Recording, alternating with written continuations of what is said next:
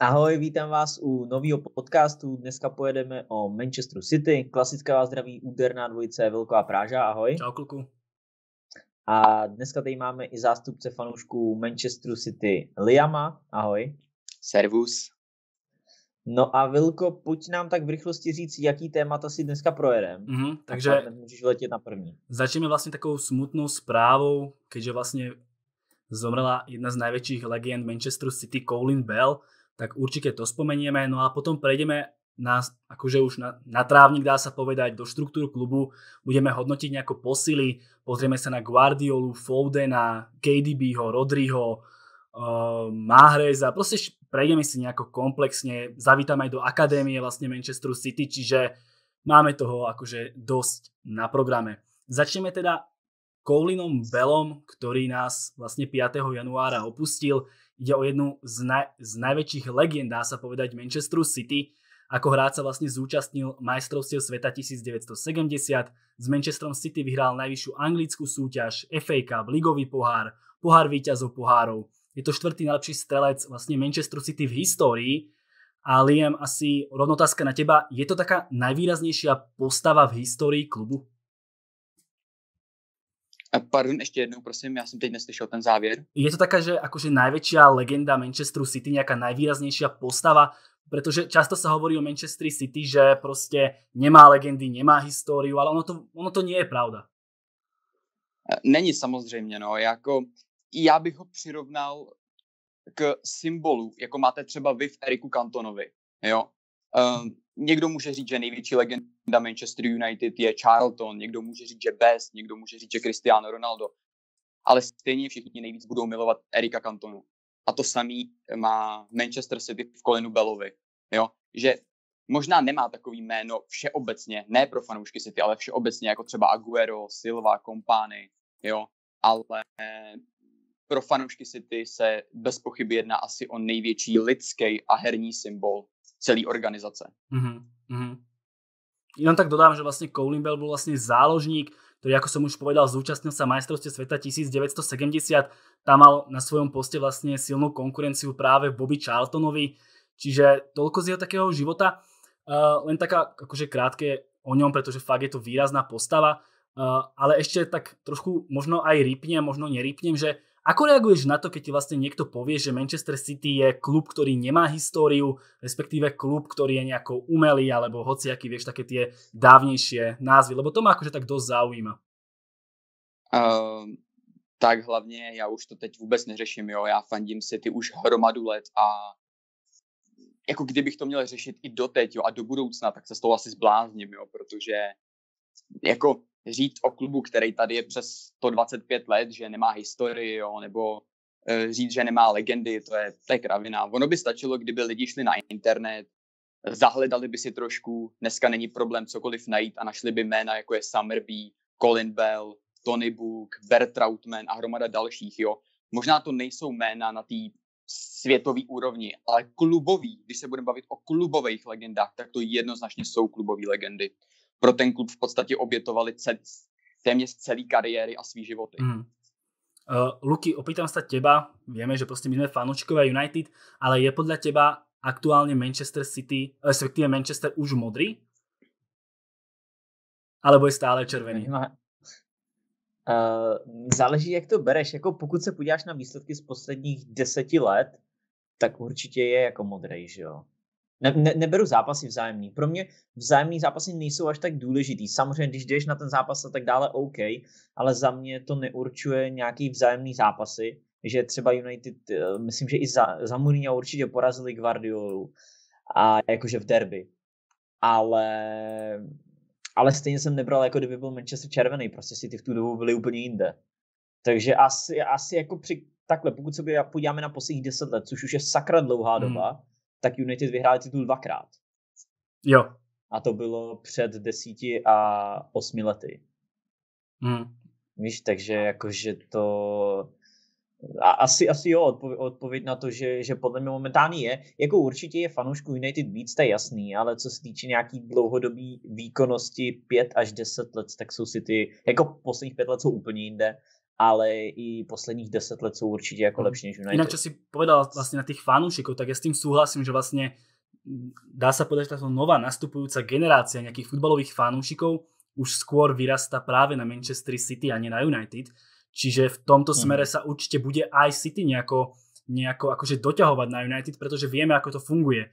Uh, asi aj každý z nás začal fandiť tomu klubu z nejakého dôvodu a väčšinou je tým dôvodom práve možno nejaké úspechy alebo nejaké hviezdy v týme a od toho sa to vlastne buduje, že vieme, že napríklad Arsenal tiež teraz stráca fanúšikov, kedy si ich mal viac, ale proste ono sa to nejak takto filtruje, riedi a že aj vlastne fanúšikov PS, že bude pribúdať, fanúšikov City pribúda akože tiež veľa a ono to takto nejako pekne sa potom nabaľuje. Inak, ak sme už pri Manchester City, tak mám takú, že podkapitolku, že vieme, že vlastne City patrí do takej veľkej skupiny City Football Group. My sme o tom už raz Lukým asi kecali. Mimochodom do tejto skupiny mm-hmm. platí, uh, patrí Manchester City, New York City, Melbourne City, Yokohama, Montevideo, Girona, potom tu máme Mumbai, čiže tým z Indie, Lomel, Belgický, Trojes. To sú všetko také, dá sa povedať, menšie týmy, ale buduje sa akási sieť, OK, možno teraz nevidíme výsledky, ale je toto nejaká dlhodobá stratégia proste nielen Manchester City, ale celkovo tej City Football Group, možno niečo, čo má vytvorené Lipsko, e, možno City bude vyťahovať tie talenty, dá sa povedať, z celého sveta a možno to nie je práca, ktorú vidím, budeme vidieť o 5 rokov, ale možno až o 15-20, že značka Manchester City bude možno najsilnejšia na svete. Viem, ako to vlastne vnímaš ty, že máme tu Žironu, vieme, že hráči Manchester City proste chodia tam hostovať. Potom tam máme, ja neviem, Melbourne, potom máme uh, New York City, vieme, že Jack Harrison, ktorý teraz hráva vlastne za Leeds, je hráčom z New Yorku City, z Melbourneu prišiel napríklad Aaron môj, že ako sa ti táto myšlienka takých tých fariem alebo bejčiek akože pozdáva? Uh, tak ono hlavně celý projekt City Football Group vzniklo ta idea toho byla vlastně pozvednout ten fotbal na jakousi další úroveň, jo? že vlastně, když se podíváte, tak City Football Group vlastní kluby po, po celé planetě, jo? jak říkal Vilko, je tam Indie, je tam Evropa, je tam Jižní, Severní Amerika, uh, máš tam kluby z Anglie, Španělska, z Francie, teď se hodně se spekuluje, že přibude i nějaký ruský klub, jo? takže uh, jde o vytvoření jako nějaký, nějaký um, sítě klubů, který mezi sebou mají nějakou kooperaci. Jo. To samý třeba Frank, Lampard, jo, který vlastně hrával v New Yorku, ale na rok nebo na sezónu šel hostovat do Manchesteru City. Jo. Kam by jinak nešel, ale šel tam jenom z důvodu toho, že ty kluby jsou na sebe napojený, jinak by tam, jinak by tam samozřejmě nešel. Takže tohle byla asi jakoby celá myšlenka toho City Football Group. Propojit vlastně ten fotbal skrz nějaký kluby po celém světě, si myslím. Mm-hmm. Myslíte si, že z toho môže Manchester City v najbližších rokoch akože dosť ťažiť, že bude vyťahovať možno talenty, o ktorých my nebudeme vedieť, ale ktoré sa proste nachádzajú. Proste vieme, že aj Japonsku rastie dosť zaujímavá generácia futbalistov. Kubo, potom tam je Pipi Nakaj, čo je obrovský talent v akadémii Realu Madrid. Že práve to môže trošičku ešte dávať akúsi výhodu práve tomu Manchesteru City? Jako je to možný, City zatím ty kluby využívá hlavně jakoby místa, kam můžou jakoby ty hráči jít hostovat. Jo? Ale těžko říct, třeba právě dají tam hráče na hostování, ten tam vyletí, můžou si ho vzít zpátky a už mají v úvozovkách hotovýho hráče. Nebo objeví se tam nějaký talent, oni, ho si, oni si ho můžou vzít za poměrně dost menší peníze. Bude tam zřejmě nějaká symbolická částka zřejmě, ale ty peníze nebudou velký. Takže rozhodně to pro ně může mít i spíš plusy než mínusy, si myslím. Mm. Luky, čo dáš ty na túto stratégiu City Football Group? Mňa tam popravde najviac zaujal Mumbai City. Vieme, že India proste nie je akože nejaká krajina, ktorá by si drtila úplne futbal. Proste tie talenty tam nie sú. Mm-hmm. Ale za mňa tá myšlienka ísť do Indie je skvelá, pretože uh, marketingovo, alebo tá, akože tá krajina je veľmi silná. Samozrejme sú tam aj financie, dosť veľké. Samozrejme ten rozdiel mm. medzi bohatými a chudobnými je veľmi veľký, ale financie tam sú aj v tom Mumbai a tá myšlienka mm. uh, akože využitia potenciálu indického trhu sa mi veľmi páči, ale že ako celkovo ty mhm. vnímaš uh, celkovo tu City Football Group, ako vravím, Girona, Lomel, to sú vlastne španielské, belgické týmy, je tam Trojes yeah. a celkovo vlastne týmy po celej Európe. Na každom kontinente má City jeden klub a proste vie nejako týmto pracovať na samom, na samom špici vlastne Manchester City.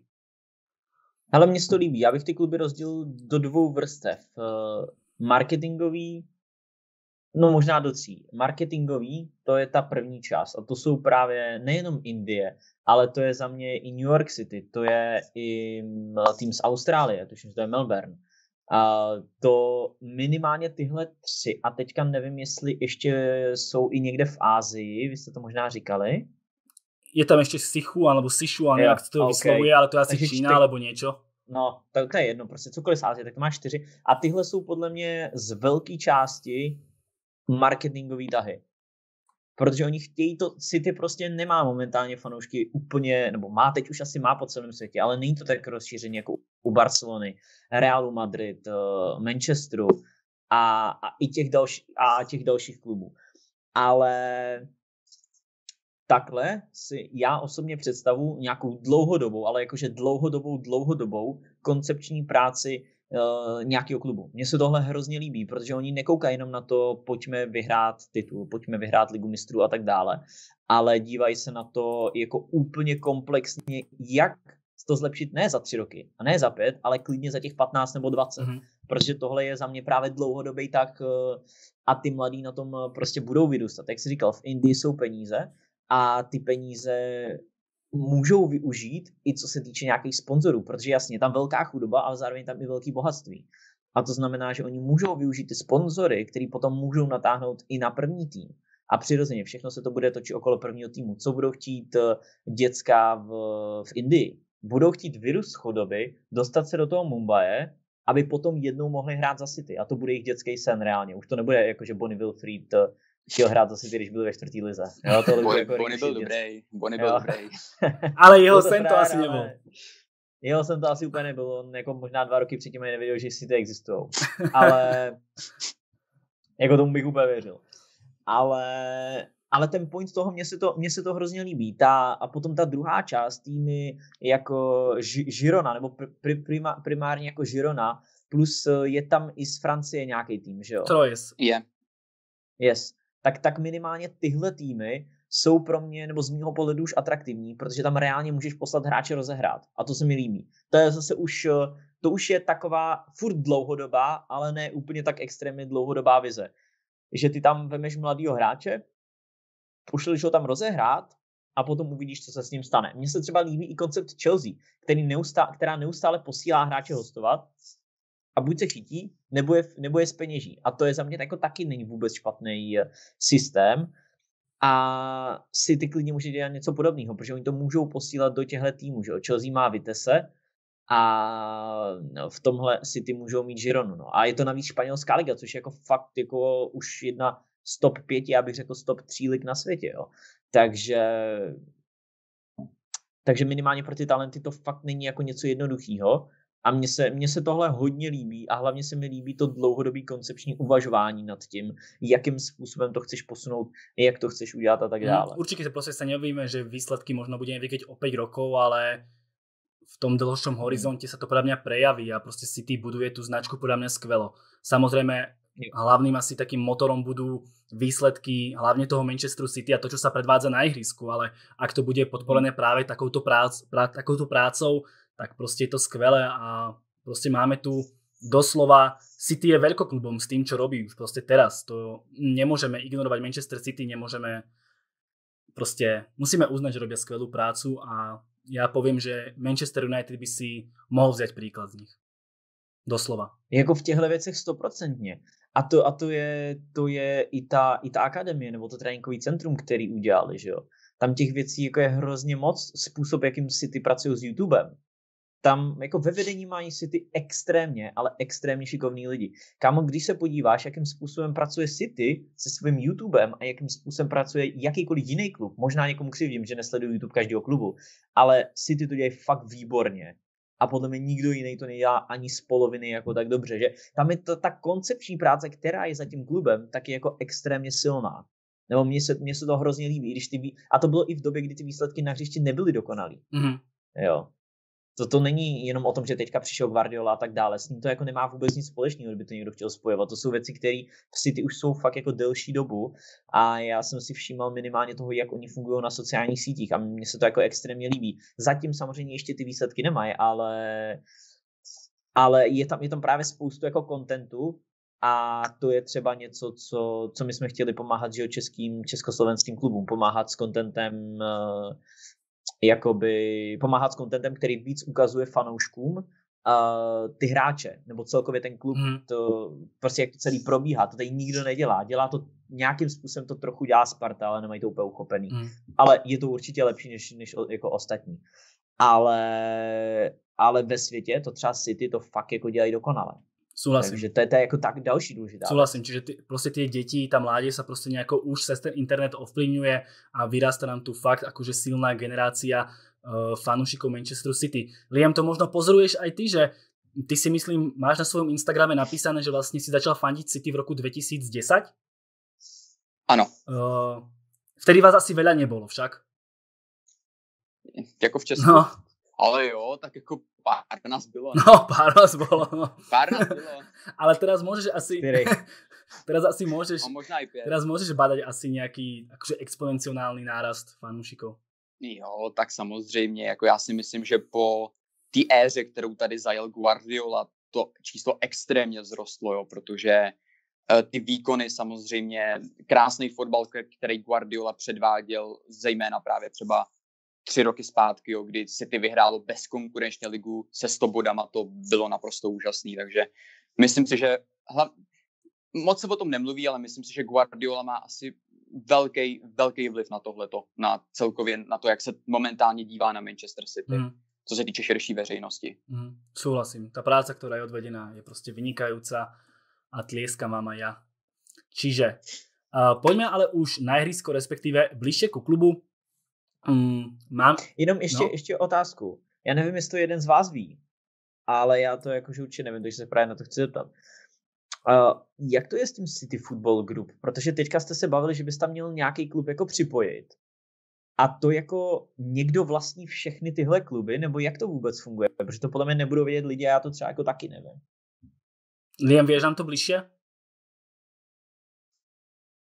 Ještě jednou prosím ten závěr zase. To se mi to no, vypadlo. Ta, ta, nebo point té otázky je, jestli všechny ty kluby vlastní jeden majitel, a nebo ty kluby tam nějakým způsobem můžou připojit, nebo jak to vlastně funguje? Uh, ne, ne, ne, nevlastní to jeden majitel. Uh, celkově i City Football Group nemá jednoho majitele. Jo? Nebo jakoby Mansur, sám Mansur vlastní asi 70% City Football Group, takže pořád má rozhodující slovo a je to hlavně jeho věc ale i on tam několik, několikrát prodal akcie, je tam, jsou tam asi další dva, mám pocit, vlastníci toho City Football Group. A to samé je v těch klubech, jo. Některé kluby patří stoprocentně pod City Football Group, jo. Některý, mám pocit, že to je Melbourne, je to New York, mám pocit možná City to je, ale některé kluby mám pocit, že to je právě ten francouzský, nebo který, um, ty mají třeba, že City Football Group je vlastně třeba z 50%, jo, mm-hmm. nebo ze 60%, nebo tam mají třeba jenom 30% vlastnictví, jo, jo takže jo, jo. není to tak, že by City Football Group vlastnilo všechny kluby 100% a mohlo Prostě City Football Group je holdingová společnost. No, tak to bych to nějak zhodnotil. Okay, no ale, okay. Hm, yes. Čiže pojďme no, už konkrétně na to ihrisko, na ten Manchester City. Tak mám tu taký, prostě už prešlo, dá sa povedať, 3-4 mesiace od uzavretia prestupového okna. Uh, Luky, ako by si ty zhodnotil hlavne tie posily? Ruben Diaz, Ake, Ferran Torres. To sú také tri najdôležitejšie mená, ktoré vlastne prišli do, do City. Yes. Ako si zatiaľ ty s nimi spokojný? Splňajú to, čo si od nich očakával? Ako by si to zhodnotil? Mm-hmm. Já bych řekl, že naprosto splňují to, co jsme očekávali. Uh, Diaz, to jsem chválil extrémně z portugalské reprezentace, mám ho tam nasledovanýho. Eh, výbor, výborný prostě stoper, navíc ve skvělém věku a tak dále. Dražší cenovka, ale okamžitá kvalita. Co mě teda překvapilo, že hraje ve, eh, nakonec ve dvojici se Stoncem. to budeme rozoberat, to budeme rozoberat. Ale... To překvapilo všechny. taky, si, taky, jak si myslím. Ale jako jeho konkrétní jeho výkony mě vůbec nepřekvapily, protože to jsme, jeho jsme hypovali už od začátku, že no prostě už fakt v té repre hrál skvěle. Takže to jako překvapení není. Co se týče Akiho, tak eh, jak moc hraje jako vůbec Ake? Protože já když jsem se díval na zápasy City, tak jsem ho moc neviděl, což bylo tak nějak to, co jsme taky jako očekávali. No, bohužel nehraje, no, ale ona to tak úplně není jako herně chyba, jo, nebo chyba herně. On je problém v tom, že on je skoro pořád her, jako mimo kvůli zdraví. Jo. Okay. Že on se, on se mám pocit, on, byla repre, on hrál na začátku, on měl docela dobrý vstup. Pak byla mhm. reprezentační přestávka nějaká, tam se zranil a od té doby se to s ním táhne pořád. Jo, on vždycky třeba odehraje zápas, ale pak zase je na nějakou dobu mimo. No, jo, takže No, každopádně, každopádně i v momentě, kdy bude zdravý, tak já to s Akem nějak jako, jako extrémně nevidím, protože máme tam Diaše, nějakým způsobem se tam rozhrál anglický Beckenbauer Stones a je tam Laport, na který, kterýho bychom ještě před půl rokem dali jako, nejlepší, jako druhého nejlepšího stopera premiér. A teďka si, no. což je jako taky zajímavý. Ale máme tam tři fakt jako top Nevím, jestli o Stonesovi můžu už teďka říct top hráč, ale minimálně předvádí top výkony. Uvidíme, jestli udrží. Ale minimálně dva stopery tam jsou 100%. A za mě, za mě jako a, a ke, jestli teoreticky může hrát toho levýho beka, OK, já osobně jsem pro přestup Akeho nikdy nebyl a když už, tak já osobně bych šel po klasickém levým bekovi, což už jsme jako taky říkali v létě. E, tak tolik asi jako k Akemu, ale taky překvapení to jako nebylo, prakticky se tak nějak z toho, co jsme očekávali, jenom to bylo kvůli zraněním, ne kvůli výkonům.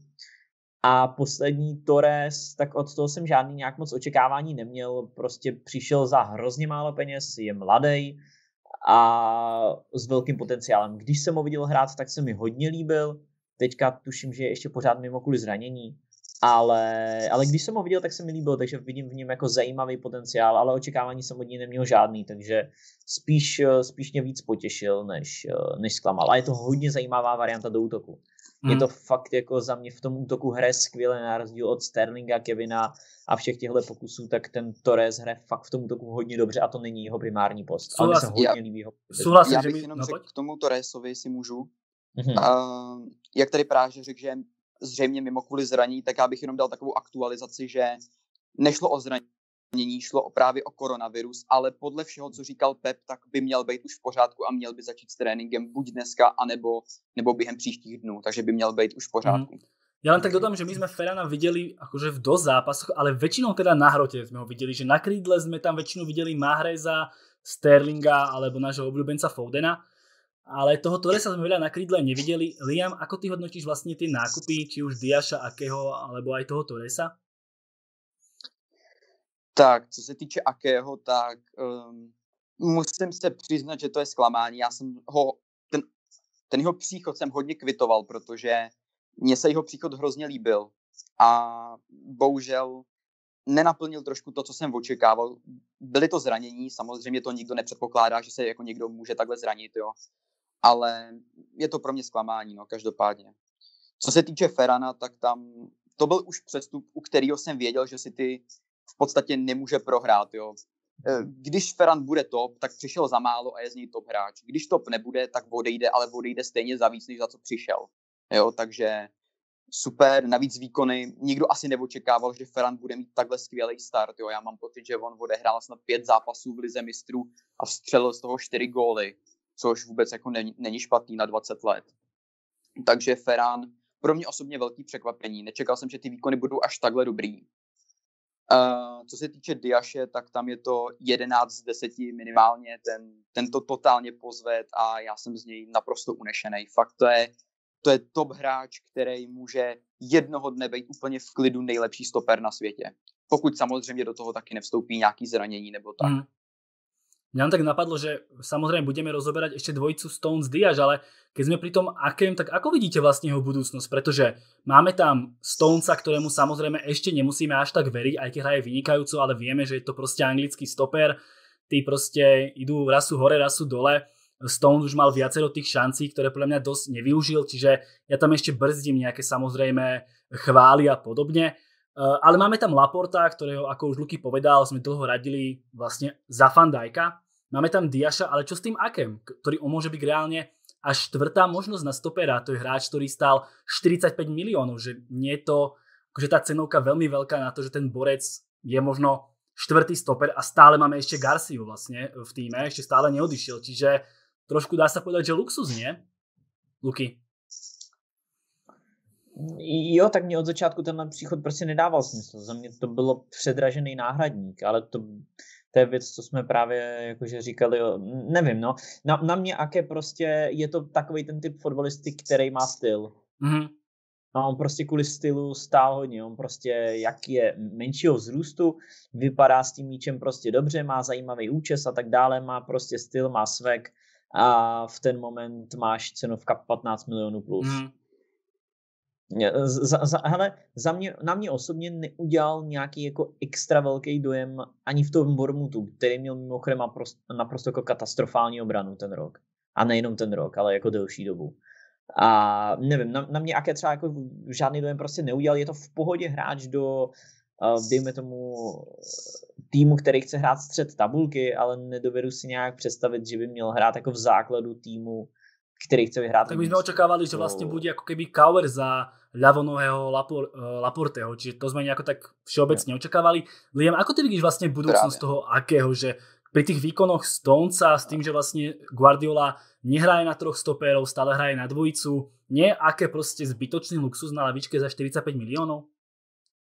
Uh, právě, já bych se rád vrátil k tomu, co říkal Práža, že to, ten nákup absolutně nechápal. Uh, já jsem ho chápal, protože Ake, když se podíváme na jeho plusy, tak on je uh, za prvý dobrý stopér, jo. Není to top třída, ale je to kvalitní stopér. Za druhý, má zkušenosti s levým bekem, takže může hrát na levý obraně. Má zkušenosti s defenzivní zálohou, může hrát při nejhorším v defenzivní záloze. Má zkušenosti s dvojčlenou, trojčlenou obranou.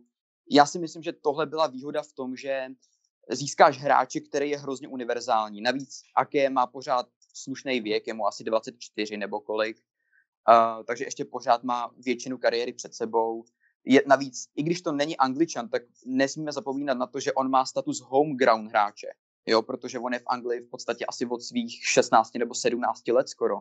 Takže to je další bonus. Uh, já jsem ten přestup bral hodně poz... Souhlasím s tím, že ta částka byla přestřelená. Hmm. No way, ta byla přestřelená, jednoznačně. Ale jako hráče, mě osobně se hrozně líbil a samozřejmě jsem ho nebral jako prvního nebo druhého stopera, bral jsem ho jako třetího stopera, s tím, že jsem nepočítal, že se rozehraje Stones, to jako vůbec. A po případě do trojčlený, dvojčlený obrany a může nastoupit na všech, na, na různých postech. No, to byla asi jako jeho největší výhoda, kterou jsem v něm viděl. Jo. Já, já, k tomu, já k tomu jenom dodám, ono, kdyby stál 25 a 20, tak s tím podle mě nikdo problém nemá a já bych ten přestup jenom jako kvitoval náhradník za 20 právě homeground hráč, uh, tak jako super, ale když už bereš hráče za 45 a takový ty věci, že může hrát levýho beka, je to samozřejmě dobrý, ale za mě si ty pustili jako výbornýho levýho beka v, v Angelinovi, anebo když už teda chtěli pravda. investovat ty peníze, tak do fakt jako klasického levýho beka například do Chilvela, jako ten šel do Chelsea, ale investoval bys kotel, ale máš prostě přímo hráče na tu pozici a ne takovýho, jakože víš, že koupit za 45 milionů Ouše je dost. A to, nezabu- a to nezabudajme na to, že vlastně Bormus v tom roku zostúpil a aj jeho cenovka šla dole, že keby Bormus nezostúpil, tak oni by si za něho možno opýtali až 60 bych, alebo 65 milionů. Já bych tomu jenom doplnil, že mám pocit, že Manchester City se o něj zajímal i minulý rok a Bournemouth za něj chtěl asi 70 milionů. Hmm. Jo, takže těch, těch 40 bylo jenom díky tomu, že Bournemouth nakonec se stoupil, jinak by za něj chtěli daleko víc. Zlatý Maguire za 80, chlapci. No, no to nevím. to, to bol samozrejme iba joke, čiže nejako sme uh, posily zhodnotili, ale Luky dobre vypichol možno toho Angelina, my sme ho už viackrát spomínali.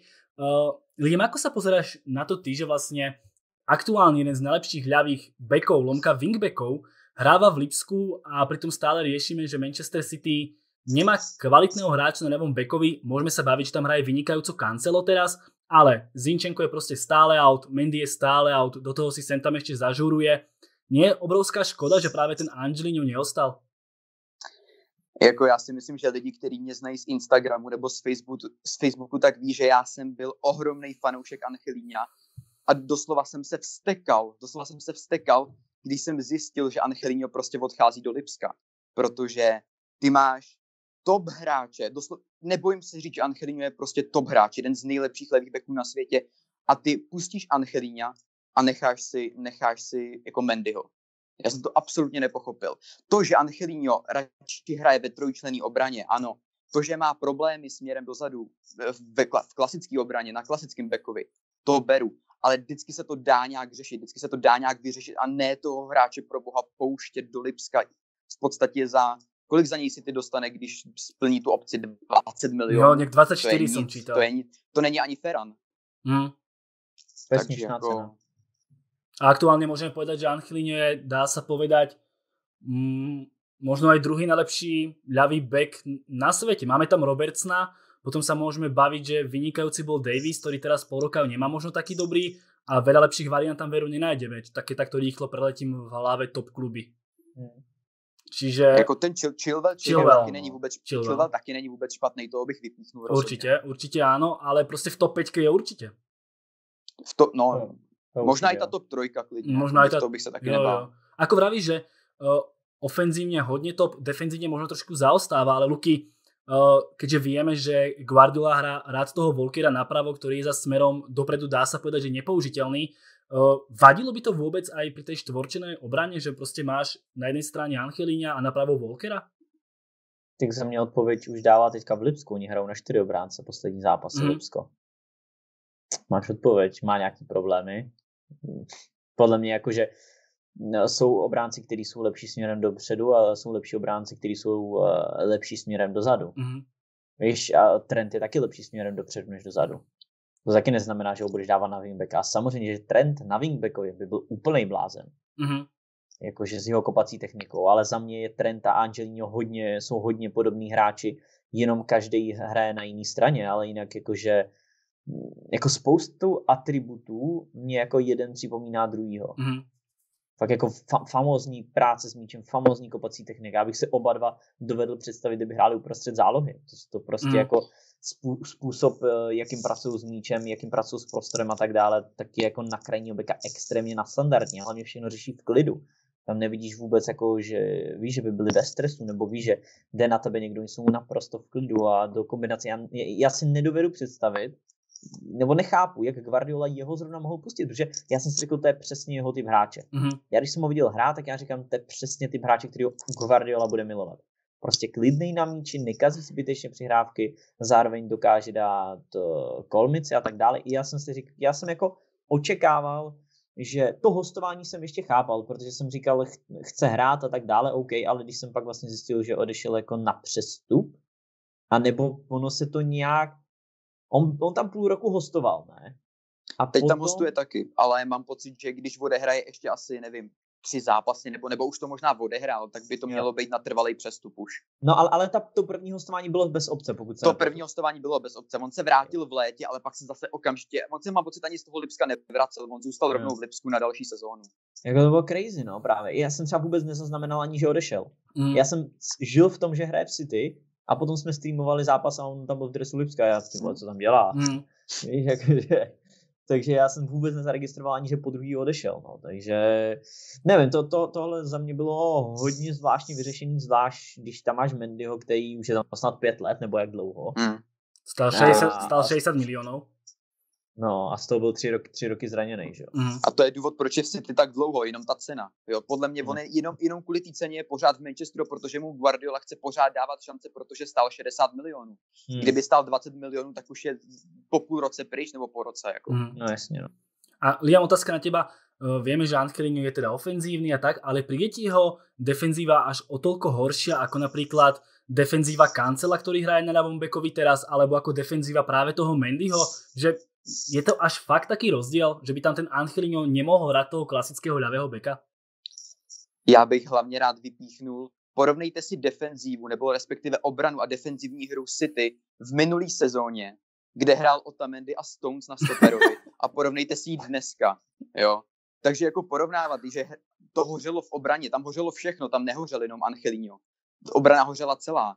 Jo, a problém je, že Angelino ani letos nedostal vůbec, kdyby aspoň dostal tu šanci a neprosadil se, tak řeknu, OK, nesedí mu to, pošlete ho pryč, ať hraje v tom Lipsku. Ale on reálně nedostal ani tu šanci se vrátit a dostat a ukázat, že v tady té obraně, která teď funguje, by mohl hrát. Říkám, podívej, jak Vilko správně řekl, podívejte se na kancela, to je taky ofenzivní back. jo. A sice ano, je to tako, momentálně hraje takovýho hybrida mezi bekem a středním záložníkem, ale funguje mu to. Mm. Jo, takže proč by to nemohlo fungovat Angelíňovi? Súhlasím. Mm. Mm. Ne, nechápem vážne tento ťah.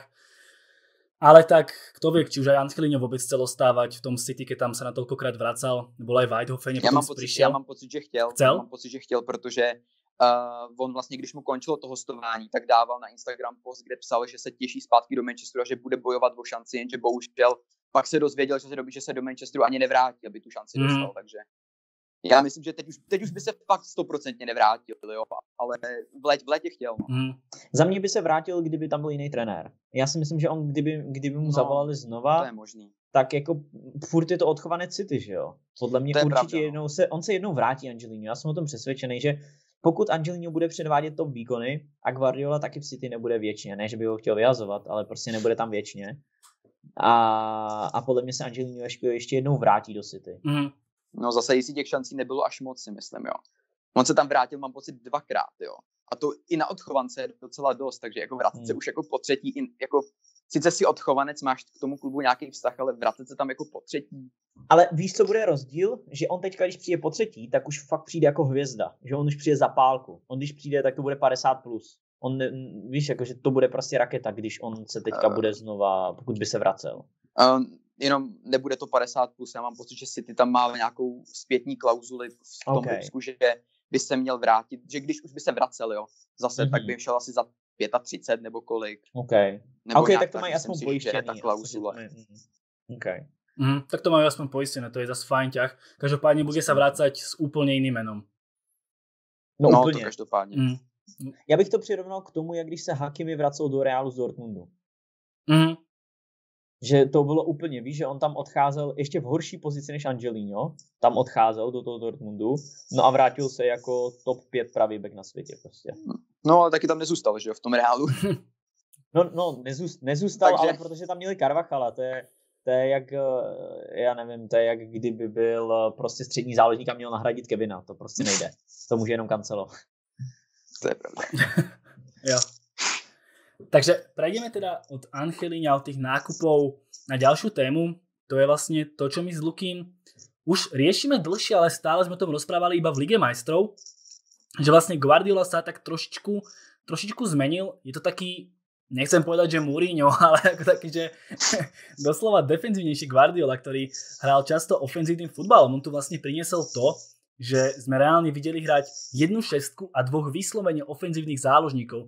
Za mňa nikdy by si si v Premier League nevedel predstaviť proste hrať Fernandíňa spolu s Kevinom a Davidom Silvom. To bolo niečo, to bolo niečo akože nemysliteľné, že si tam chcel mať defenzívneho hráča, behavého hráča a potom jedného ofenzívneho. Guardiola prišiel s niečím úplne iným. Fungovalo to, vieme City 17-18, nezastaviteľná mašina, 18-19, nezastaviteľná mašina, aj keď Liverpool bol už trošku bližšie. Ale čo vlastne Guardiola stále robil, bolo, že napríklad na zápas s- Lyonom v rámci Ligy majstrov, to je obľúbený náš zápas s Lukým, nastúpil vlastne s. Fernandíňom, Rodrím a Gundoganom v týme. A samozrejme bol tam ešte aj Garcia Laporte, čiže jeden z nich nehral stopera. Proste fakt to bolo Garcia Laporte, Fernandinho, Rodri Gundogan a dvaja beci Volker Cancelo. Ešte tam je Volker, defenzívny hráč. Že to bolo proste ultra defenzívne, vieme ako to dopadlo, City vypadlo. A niečo také vlastne vidíme aj v tejto sezóne, že ešte stále sme boli svedkami, že hral Rodri Fernandinho. Áno, to sú takéto veci, ktoré proste u Guardiolu by sme niekedy nevideli a teraz sme toho svedkami. Čiže možno otázka na vás, že prečo sa to deje vlastne už aj v zápasoch, ako ja vravím proti Fulhamu, vidíme hrať Rodriho po boku Fernandíňa, Gundogana. Samozrejme teraz Gundo má výbornú formu, ale videli sme to proste na začiatku, že proste fakt ako keby Guardiola neveril tej obrane, alebo čím to bolo? Luky, môžeš ty prvý. K- klidně, klidně nechám jako Liama, že já bych na to rád věděl odpověď. OK. Takže My jsme to řešili fakt hodněkrát, no. Jako, no právě, já vím, že jste to řešili hodněkrát, ale ono k tomu není bohužel moc co říkat, protože evidentně to nechápe nikdo, kromě Guardioli. Mně se zdá, že ani hráči jako v podstatě neví někdy, co mají hrát, jo. Jako já, když někdy vidím, jak Kevin lítá v útoku, rozhazuje rukama, jo, že, jo, protože Kevin je hráč, který miluje míč. Kevin je hrozně rád na míči, hrozně rád řídí hru, a je, ale když ho tam vidíš, jak tam lítá v útoku, nabíhá si za obranu, je bez míče 90 minut, tak to je, to je směšný prostě. Jo, ještě jak jste zmínili zápas s Lyonem, tak já když jsem viděl kreativní zálohu ve složení Rodri, Fernandinho, Gindogan a nejlepší záložník na světě lítal na křídle, tak jsem si říkal, hm, tak to bude opravdu zápas teda, no. To jako, do teďka mám z toho zápasu noční můry, tyhle.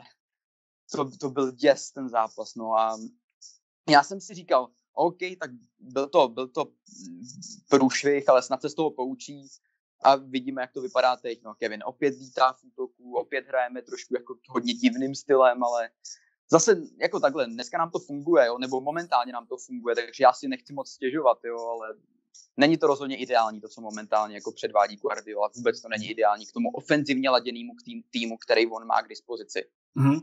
Hele a čemu, nebo proč si myslíš, že nastala ta změna? Protože ona jako reálně jako nastala ta, ta změna, kdy on na začátku vlastně to bylo jasný, že on se fakt změnil, Guardiola v City. Fakt se jako změnil a zvlášť ty první tři roky, jakože první tři roky úplně, kdy on fakt ten fotbal byl rychlej, a jasně, byla tam ta barcelonský, no byl tam tam barcelonský rukopis, ale měl tam prostě rychlý křídla a celkově to bylo celý rychlý, svižný a fakt eh, vlastně to tiki taka vlastně ani nebylo v City. I když tomu tak říkali, tak to reálně tak nebylo. To byl jako extrémně záživný fotbal. Je, jakože City 17, 18, 18, 19, to je prostě, to, to, to je reklama na fotbal. Totální reklama na fotbal.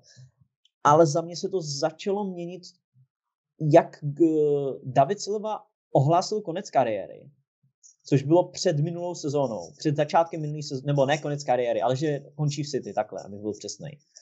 A to bylo před začátkem minulé sezóny a on vlastně řekl, že dohraje sezónu a odejde. No a v tu chvíli mně přišlo, jakoby, že by se to pomalu jako začalo, začalo jako měnit, že eh, celkově Guardiola právě začal spát občas toho Kevina do útoku, občas na křídlo, potom Foden na křídlo a tak dále, že nebo jak, eh, jak ty koukáš na tuhle jako jeho změnu, protože reálně to není to City, který nás jako všechny bavilo. Uh, podle mě zlom začal už jakoby, tak trošku ten zlom začal už i příchodem Mahréze si myslím, jo, protože když se podíváš, jak tehdy hrálo City, jo, rychlej Sané, rychlej Sterling, přímo čarej fotbal, tohle není Mahrez, jo, takže už příchodem Mahréze bylo vidět, že se asi Pep snaží jako zkoušet něco jiného nebo vydat se jiným směrem, ale pořád to jako aspoň dávalo smysl tak nějak. Hmm. Ale souhlasím, že v minulý sezóně um, Pep začal hrát daleko víc defenzivně, daleko víc začal dělat kraviny. Co se týče té tý defenzivní hry, která minulou sezónu začala, tak já si hlavně myslím, že to bylo způsobený um, tou defenzívou. Jo. Tam jako nebyl kompány, jo, protože odešel, Laporte byl zraněný na celou sezónu, takže logicky Pep chtěl, aby hodil tam jednoho defenzivního záložníka navíc, aby jako trošku vybalancoval ten, tu obranu a celkově se hrálo víc jakoby zataženější fotbal, nebylo to tak přímočarý, takže já, ale doufal jsem, že to teď jako, doufal jsem, že vyřešíme obranu a ten problém zmizí, protože už bude obrana. Jo, minulou sezonu jsem to chápal, ale jako nechápu, proč musíme hrát s dvouma defenzivníma záložníkama proti Fulhamu.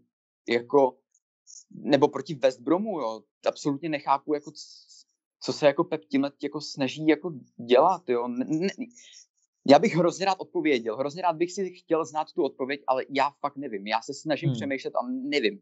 Za, za celý rok jsem na to nepřišel. Nie je to práve tou nedôverou v Rodriho, o ktorom stále vlastne rozprávame, že pohybovo to proste nie je Fernandinho, takže tam dáva ešte jedného defenzívneho záložníka naviac, že fakt proste ten Rodri to je Busquets, dá sa povedať pohybovo a aj celkovo tým štýlom proste nám pripomína Busquetsa. Nie je to práve tým, lebo ako Luky povedal, ono sa to deje vlastne už od minulej sezóny a Rodri tu je už vlastne druhý rok.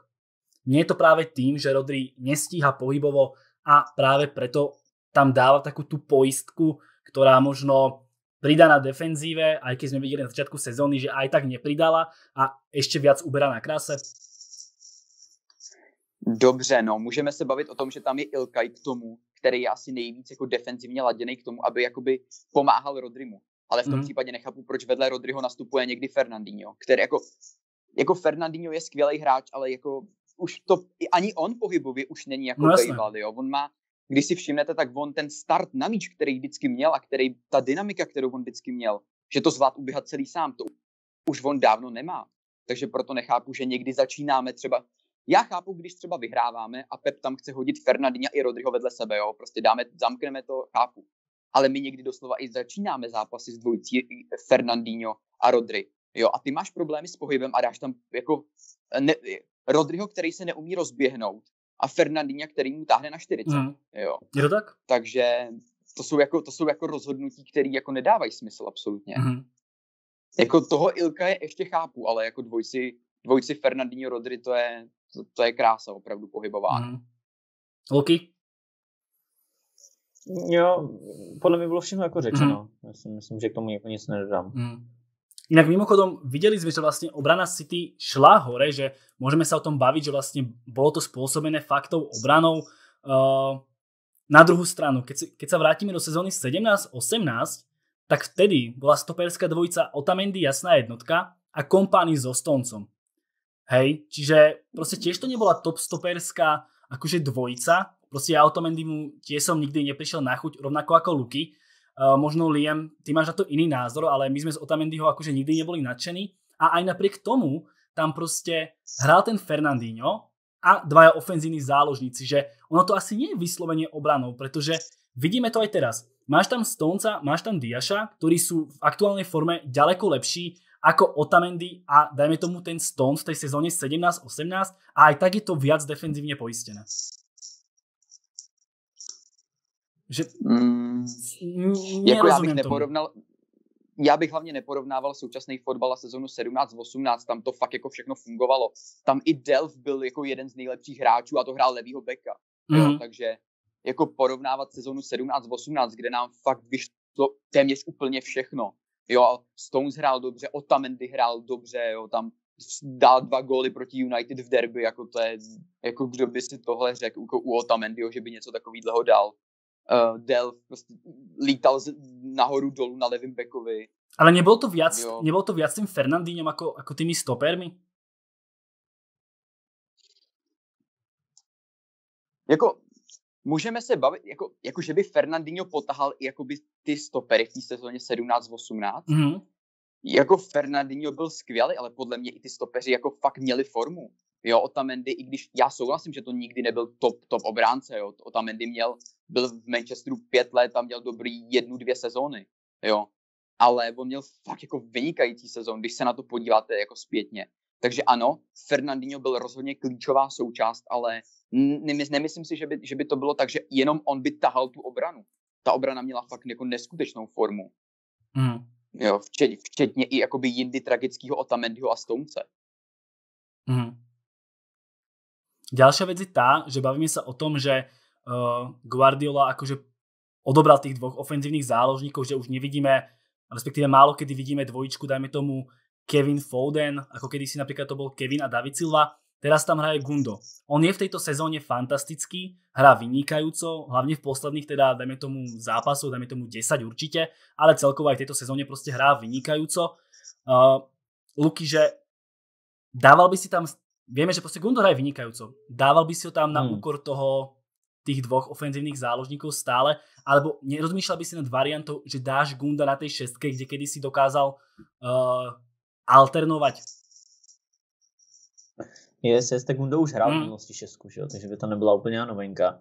Um, asi v momentální formě s tím nemám problém, ale je to momentální forma, která za mě dlouhodobě určitě nevydrží. Uh, Gundo je za mě kvalitní fotbalista, ale není úplně top. Hmm. Jo. A podle mě největší smůla Gindogana je ta, že on prostě nemá pozici v tomhle rozestavení. Pokud tam máš šestku a dvě desítky, tak Gundo nemá kde hrát. On je prostě klasická osmička a výborná osmička.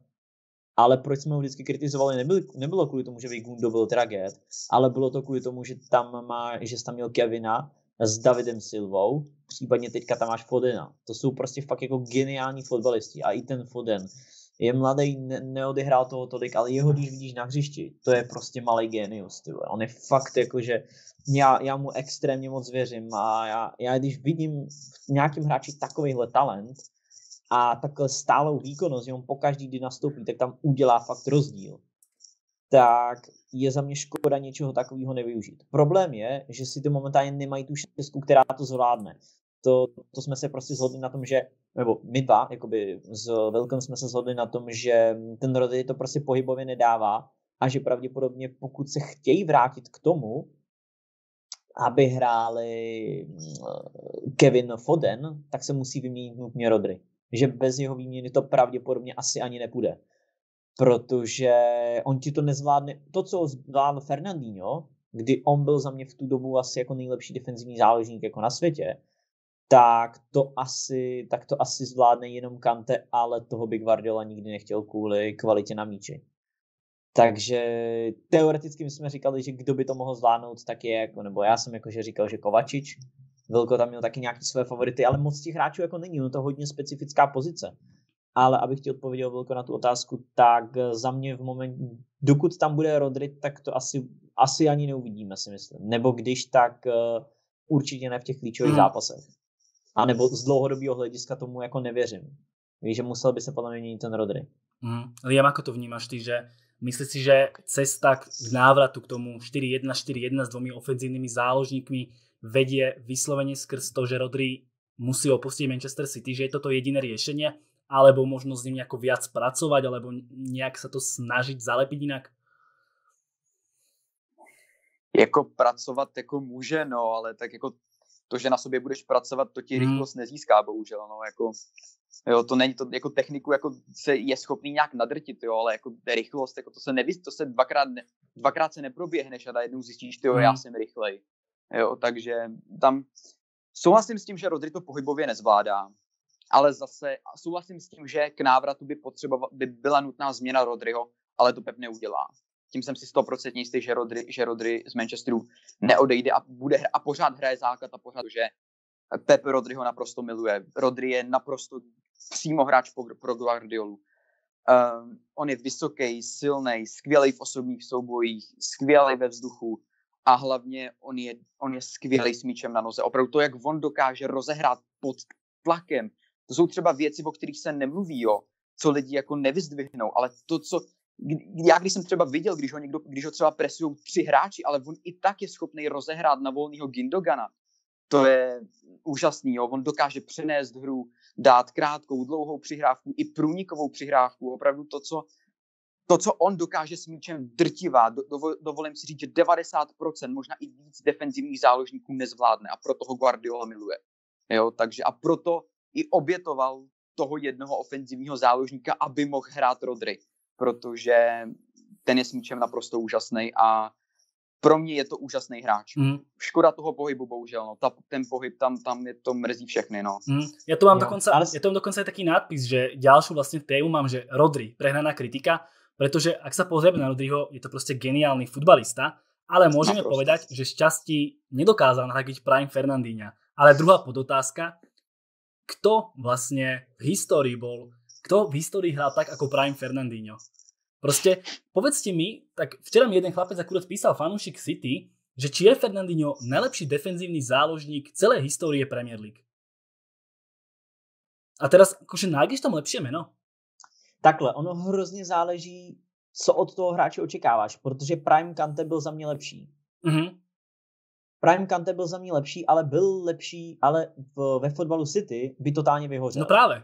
Souhlasím, a to je, souhlasím. To je pod, ty musíš se právě na to dívat v různých pohledech. On i Rodry v týmu, který hraje klasický 4-3-3, ne 4-1-4-1, tak Rodry by byl úplný král. Mm-hmm. Jako Rodry mít před sebou uh, Xaviho s Iniestou, tak je úplný král a kámo, mluví se o něm jak uh, o prostě famózním hráčovi. Druhý se teďka neděje, protože No úplně, úplně druhý Busquets. Ale ještě by byl podle mě jako víc hypovaný než Busquets, mm-hmm. protože on je lepší ještě v osobních soubojích. A teďka vůbec nevím, co byla otázka. že či prostě Fernandinho je reálně jakože úplně tím nejlepším defenzívnym záložníkom a či misia nahradiť ho nie je vlastně až dá sa povedať nemožná. Uh, za mě je to možný, ale je to hodně složitý a jestli byl nejlepší v historii, to si jako, jako byl fakt úžasný, byl fakt jako brutální a když si podíváte, fakt puste si zpětně rozebrána, který já jsem dělal, tam jako já, já jsem hypoval Fernandinha extrémně moc, protože a to i několikrát jsem říkal, že v momentě, kdy skončí Fernandinho v City, tak bude obrovský problém. Mm-hmm. A, a jako je. A ro, ro, tam jako pr- prvotní problém byl v tom, že tam sil, selhal, selhal jakoby, tak jsou dvě varianty. Buď selhal jakoby scouting, co se týče toho hráče, že vybrali typově úplně jiného hráče, a nebo možná očekávali, že z něho dostanou jako pohybově víc, nebo že to nebude úplně takový problém. A nebo druhá varianta, Guardiola to předem věděl a chtěl se vydat jinou cestou. To je taky možnost. To vůbec nemusí znamenat, že jako self scouting. Ale jaká z těchto dvou variant je správná, to nevíme a asi ani nikdy jako nezjistíme, nebo určitě to nikdy nezjistíme. Mm. Jsou věci, které se ven, ven jako nedávají nikdy, ani zpětně. Takže, takže jako je to otázka, no. Já, a abych odpověděl na to, jestli byl Fernandinho nejlepší v historii, tak asi ne, ale v top 5 za mě jako určitě byl. Ale bylo tam fakt jako extrémně moc kvalitních jako defenzivních mm. záložníků, i na který si třeba teďka jako nespomenem, jo. Mm. Ale vím si, že v Premier League hrál třeba i Makelele, kámo. Víš? Byl tam Prime Kante, kámo, byl za mě nejlepší defenzivní záložník, který jsem kdy viděl hrát. Prime Kante, to prostě, a to nejen v Leicesteru, ale i potom v té Chelsea, kámo, ten Borec byl úplně nezastavitelný. To, to fakt jako, že Fernandinho byl hodně důležitý, ale Kante byl snad první defenzivní záložník, který ho prostě viděl na hřišti, kámo. Mm-hmm. Jo, viděl, protože on vzal, on letěl na jednu stranu, vzal tím míč, letěl na druhou, skočil tam, on byl všude, kámo. To, to je fakt noční můra pro, pro kohokoliv hrát proti němu, no. Takže, takže asi jako na Kanteho ne a u těch ostatních, momentálně asi zatím bych ho dal jako hned za Kanteho, ale musel bych si projet víš, víc ty jména a tak dále. Mm protože na spoustu hráčů si jsem možná jako zapomněl, to nevím. Ale v top, do, do top 5 bych ho dal určitě mm. Já len tak dodám, že na Rodriho ide možno kritika právě kvůli tomu, že nahradzuje Fernandinha, protože sám o sebe mm. je to geniálny futbalista, ale prostě Brian Fernandinho mal niečo naviac, čo prostě Rodri nemá, ale ako vravím, my nemôžeme posudzovať, dajme tomu Kanteho podľa počtu gólov, rovnako ako neposudzujeme Aguera na základe nejakých asistencií, hej, alebo keď to mám tak vtipnejšie povedať, neposedzujeme Lindelofa na základe vyhraných obranných súbojov, hej. Proste, proste my, my nemôžeme akože posudzovať Rodriho na základe odbehaných kilometrov alebo na základe rýchlosti. To proste nejde. To je jasné, že ten hráč úplne zlyha v našom akože hodnotení, ale keď ho budeme hodnotiť na základe týchto vecí, tak je úplne top. Liam, a teraz otázka na teba, že myslíš si, že Guardiola vedel, že to proste ten borec nedokáže až tak odbehať a že rátal, že tam bude nejaká osmička, ten Gundo, alebo možno netrafil toho hráča a že chcel akože zotrvé pri tom rozostavení 4-1-4-1. Jak říkal Práža, oni jsou tři scénáře. Buď selhal scouting, nebo se očekávalo, nebo se to vědělo, že má problémy s pohybem, ale očekávalo se, že se to nějak vylepší. A nebo to byl dopředu připravený plán, že se prostě bude hrát s dvojicí Gindogan Rodry. Já osobně si nemyslím, že je chyba scoutingu, protože sám Guardiola, podle mě nikdo nemá lepší propojení na Španělsko než Guardiola. A jestli někde by neselhal ve scoutingu, tak je to právě Španělsko. Takže podle mě chyba scoutingu to nebude, jo. Ono je možný, že Rodri nevypadal takhle v tom atletiku, jo, protože samozřejmě Atletico hraje úplně jiným stylem, než hraje City, jo, takže tam možná ten pohyb nebyl tak vidět, jo, že nebo nevypadal, že by byl tak špatný. Ale nevím, no buď buď se to vědělo a plánovalo se to, nebo se to vědělo, ale počítalo se, že se s tím něco, jakoby, že se to zlepší, no, což jakoby nepřišlo mm. moc. No a teraz otázka, uh, dajme tomu, že Guardiola bude manažerom ďalšie 2-3 roky, Gundogan pomaličky začne odchádzať.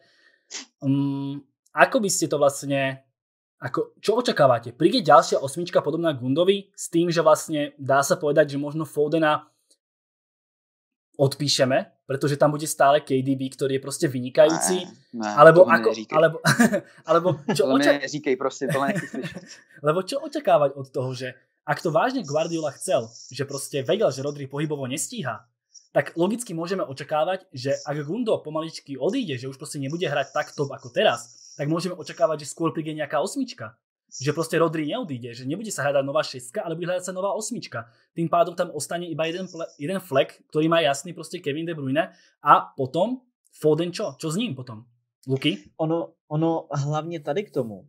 Vem si, jak dlouho Guardiola říká, že prostě Foden je geniální, Foden nahradí Silvu a tak dále. Největší talent dlouho. od čas Messiho. Přesně, Přesně tak. Ale on, čím víc nad tím přemýšlí, tak tím víc si říkám, že on možná už dávno předtím věděl, že on vůbec Davida Silvu nahrazovat nebude. Mm-hmm. A že dost možná to fakt jako bylo připravený, že se bude hrát jiným stylem. A on Foden jako hraje, ale hraje skřídla. A on skřídla nikdy svůj potenciál nenaplní. To prostě nenaplní ho. To teď, teďka má ještě jakoby hype a tak dále, ale nenaplní ho. Dlouhodobě půjde i potom výkonnostně dolů, protože se na něj ty týmy připraví a tak dále. On prostě rychlostně nemá na to hrát křídlo. Ale jako jestli se mě ptáš na scénář, který já si myslím... Ty, který si ty myslíš a potom který by si chcel.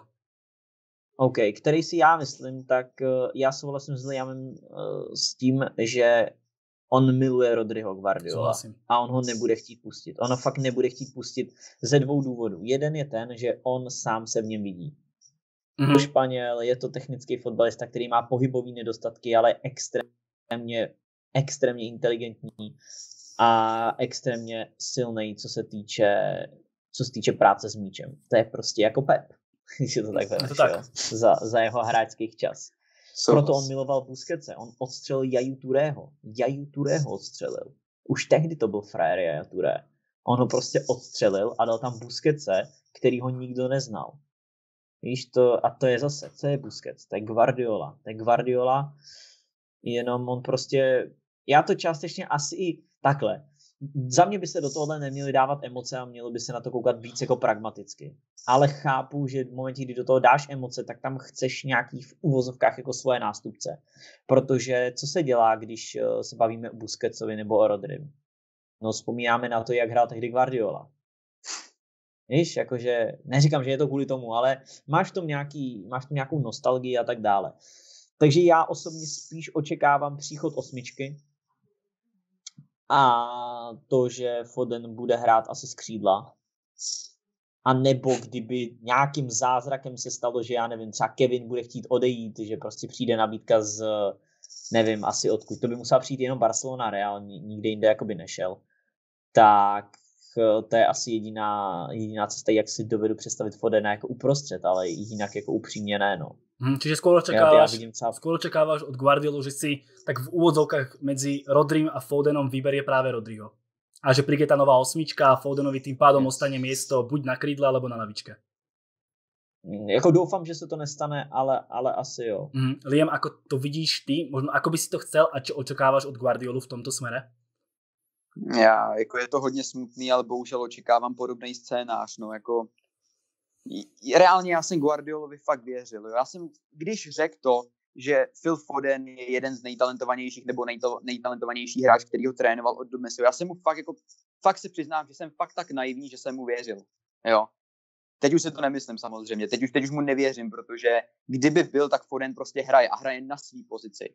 Jo to, že on ho dá na křídlo a jemu se tam podaří zápas proti Chelsea, kde, ho, kde proti němu je Aspilikuje na Bekovi, který by mohl závodit tak maximálně s Rodrym, jo.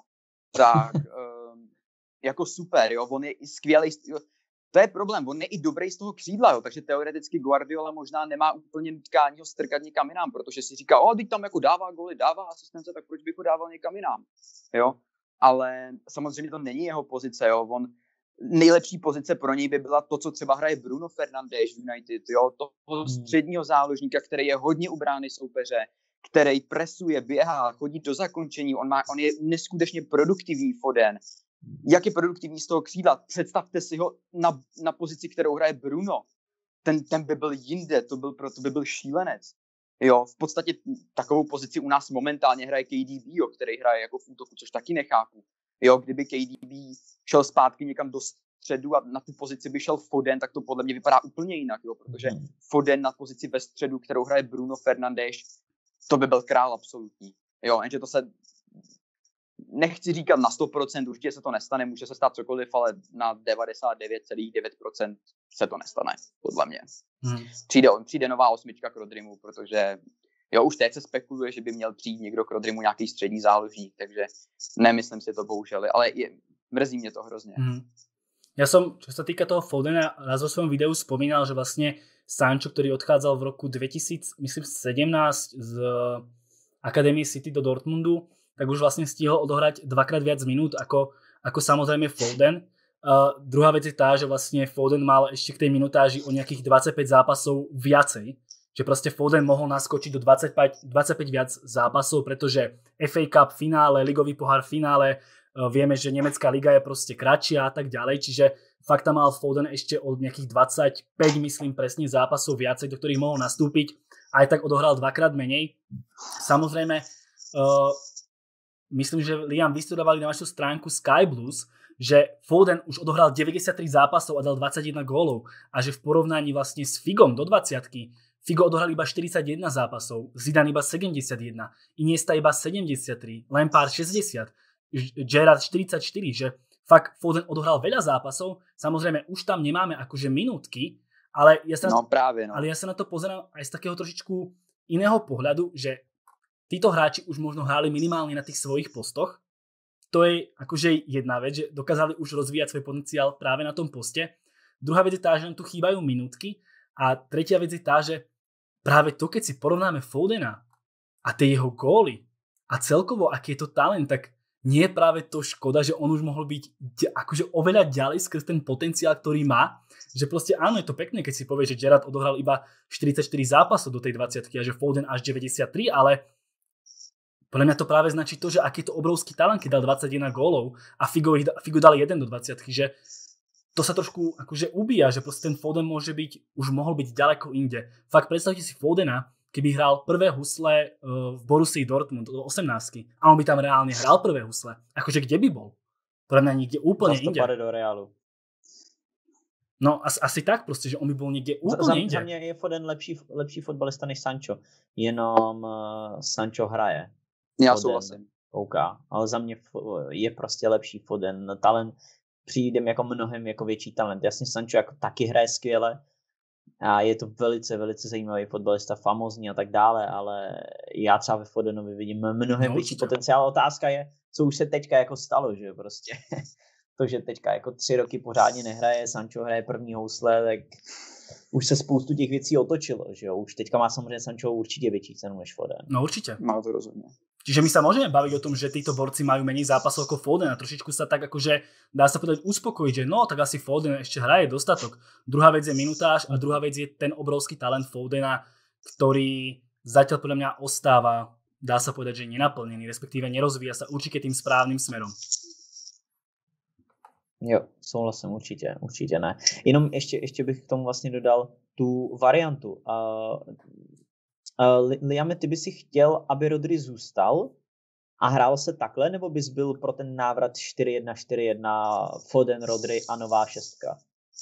Tuhle otázku jsem nechtěl. a je tady. Já vůbec nevím teď, jo. Na jednu stranu já miluju Rodryho, jo. já ho se snažím obhajovat, kde můžu já naprosto miluji Rodryho jako hráče. Na druhou stranu jako trpí tím Foden, no, což... A nevím, já nedokážu odpovědět, fakt jako nedokážu odpovědět, protože t- tady jsem rozdvojený, jo, tady prostě 50 Hele. na 50, chci, aby Rodry zůstal, chci, aby Rodry odešel a vrátilo se to a všechno a Foden by hrál na svý pozici a teda a teda, jo. Ale Chápu, jako... hele takhle, uh, tak jinak, jinak, otázku položím jinak. Uh, tvojí ideální jedenáctku Manchester City? No, to se teda vylepší. no, jako. prostě chci, chci odpovědět jednoho, jednoho, ať si, jednoho, ať si z nich jakoby vybereš. Pane bože, no. Ty krásu, já vůbec nevím, no. jak bych to teď poskládal. Ale asi, ale asi jo, asi bych se vrátil zpátky k systému, kdyby, kdyby, kdyby jsme hráli, kdyby jsme hráli s dvouma, s dvouma středníma záložníkama, s tím, že by Kevin hrál spíš toho střední, středního, který by se soustředil na přechodovou fázi, předfinální fázi, finální fázi a Phil by mohl právě chodit hodně do zakručení, byl by hodně vysoko, napadal by a nějaká běhavá, běhavá, jakoby nějaký běhavý hráč pod, ní, pod ně by byl úplně ideální, jo. Jenže jako můžeme se o tom bavit, jo, můžeme. Jo, bylo by to ideální, možná bylo, ale nestane se stej. Rody jde. Na, na, to bych se, na to vsadím cokoliv. Mm-hmm. Yes, ale jenom mě zajímal, mě zajímal právě jakoby ten, ten tvůj point, koho, by, koho by si jako vybral a jak, jak bys to vlastně jako hrál ty, protože ono to není nic proti Rodrymu. To, že je Rodry výborný, se tady shodneme určitě všichni tři, ale pro, pro, tu, pro tu hru jsem jakoby taky toho stejného názoru. Vilko, ty asi taky. Mm. A nemožno ani prehru, lebo aj s Gundoganom on to teraz akože šlape vynikajúco, ale uh, mňa skôr mrzí ten potenciál Foudena. No za, za mě i dlouhodobě no, prohru. Za mě i dlouhodobě prohru, protože kolikrát jsme Gunda viděli s formou, to, že jí má teďka, to je jako hezký, ale Stones má teďka taky formu, jo, víš, jakože i David Samozřejmě, ale můžeme se bavit o tom, že přijde nová osmička, která může hrát lepší no, jako Gundo, víš, čiže jo. u mě jde skôr o to, že no, mě viac mrzí právě ten nevyužitý potenciál Foudena ako to, že tam nehrají dvaja. Víš, jako, chápeš ten point? No, takhle, mě jde, mě jde spíš o to, jak moc kvalitního hráče by si musel koupit, aby byl lepší No, to, to, je, to je druhá věc. Víš, mm. jakože. Takže spíš tohle. No a když se bavíme o té šestce, tak uh, máte nějaký jako vy jméno, který by se jako vám líbilo, klidně velko může začít uh, jakože koho bys chtěl na tu hmm. šestku jako do City, nebo kdo si myslí, že by tam mohl být jako, zajímavý? Na tým jsem popravdě nerozmýšľal, ale akože mal som trošku takú úvahu, že ti to prostě musí byť mm. až tak dokonalý futbalista, čo sa prostě uh, tej práci s loptou týka. Samozrejme, nehľadáme tam hráča, ktorý prostě si nevie spracovať loptu, nedáme tam Felajnyho, to určite nie, ale či by práve nemali uh, prevažovať výrazne tie uh, dá sa povedať, že bežecké kvality a tá, tá obraná fáza práve pred tou, pred tou loptovou technikou. Proste máš tam Stonca, respektíve Laporta, máš tam Diaša, to sú hráči, ktorí proste vedia rozhorať loptu. A keď tam vyslovene neprinesieš nejakého nekopa, ktorý fakt hráča typu Felajny, tak ja by som tam možno hľadal aj hráča, ktorý možno nie je až tak guardiolovský, ale proste dokáže to odbehať a dokážeme tam hrať aj Fodena, aj KDBho. Ako meno nemám, ale fakt by hmm. som tam možno hľadal hráča, ktorý... Pretože keď sa pozrieš na Stonca a Diaša, sú skvelí na lopte, rovnako Laporte. Že možno tam netreba toho mm. ďalšieho Busqueca, ale že fakt by tam stáčil hráč, ktorý proste vie rozohrať, možno v tom úplne nevyniká, ale lopta mu nerobí problém, mm. ale hlavne to dokáže odbehať a využije sa potenciál Fodena a KDBho. To si myslím, že samozrejme Guardiola neurobi, že on tam bude chcieť práve toho borca, ktorý si to rád ťuká, vie to aj on rozohrať, vie tam proste tú loptu cirkulovať, ale ja si myslím, že City by prospelo, ak by tam bol hráč, ktorý práve dokáže viac behať ako tvoriť. Pretože vytvorí hru vie Kevin, vedia to stopéry, beci taktiež nie sú nejakí proste hráči, ktorí by nevedeli pracovať s loptou, takže za mňa tento variant radšej. Jako ty si tímhle vlastně popsal Fernandíně, že jo? To, co si chtěl, to, co si chtěl potom hráčovi. Samozřejmě hmm. on věděl s míčem na noze, no. ale taky si od něj nechtěl, aby posílal... Nebyl to Rodri. No jasně, přesně no, tak.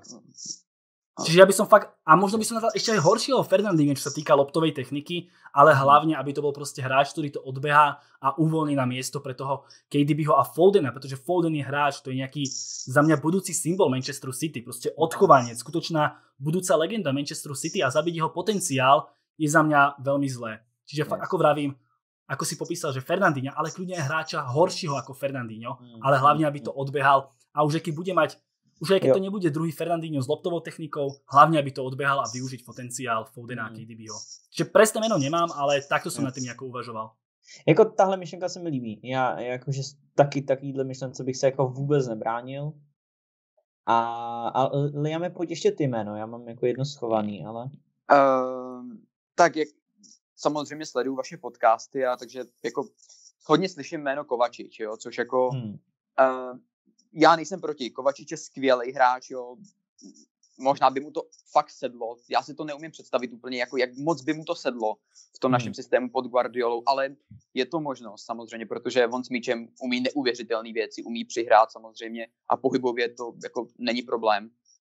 Uh, jenom bych jako řekl, že se mluví, nevím, jak vy, jelikož sledujete zápasy, jo, jakoby všeobecně, nejenom jakoby Manchester United, tak asi víte, Uh, mluví se, že by k nám měl přijít Zakaria z Mönchengladbachu.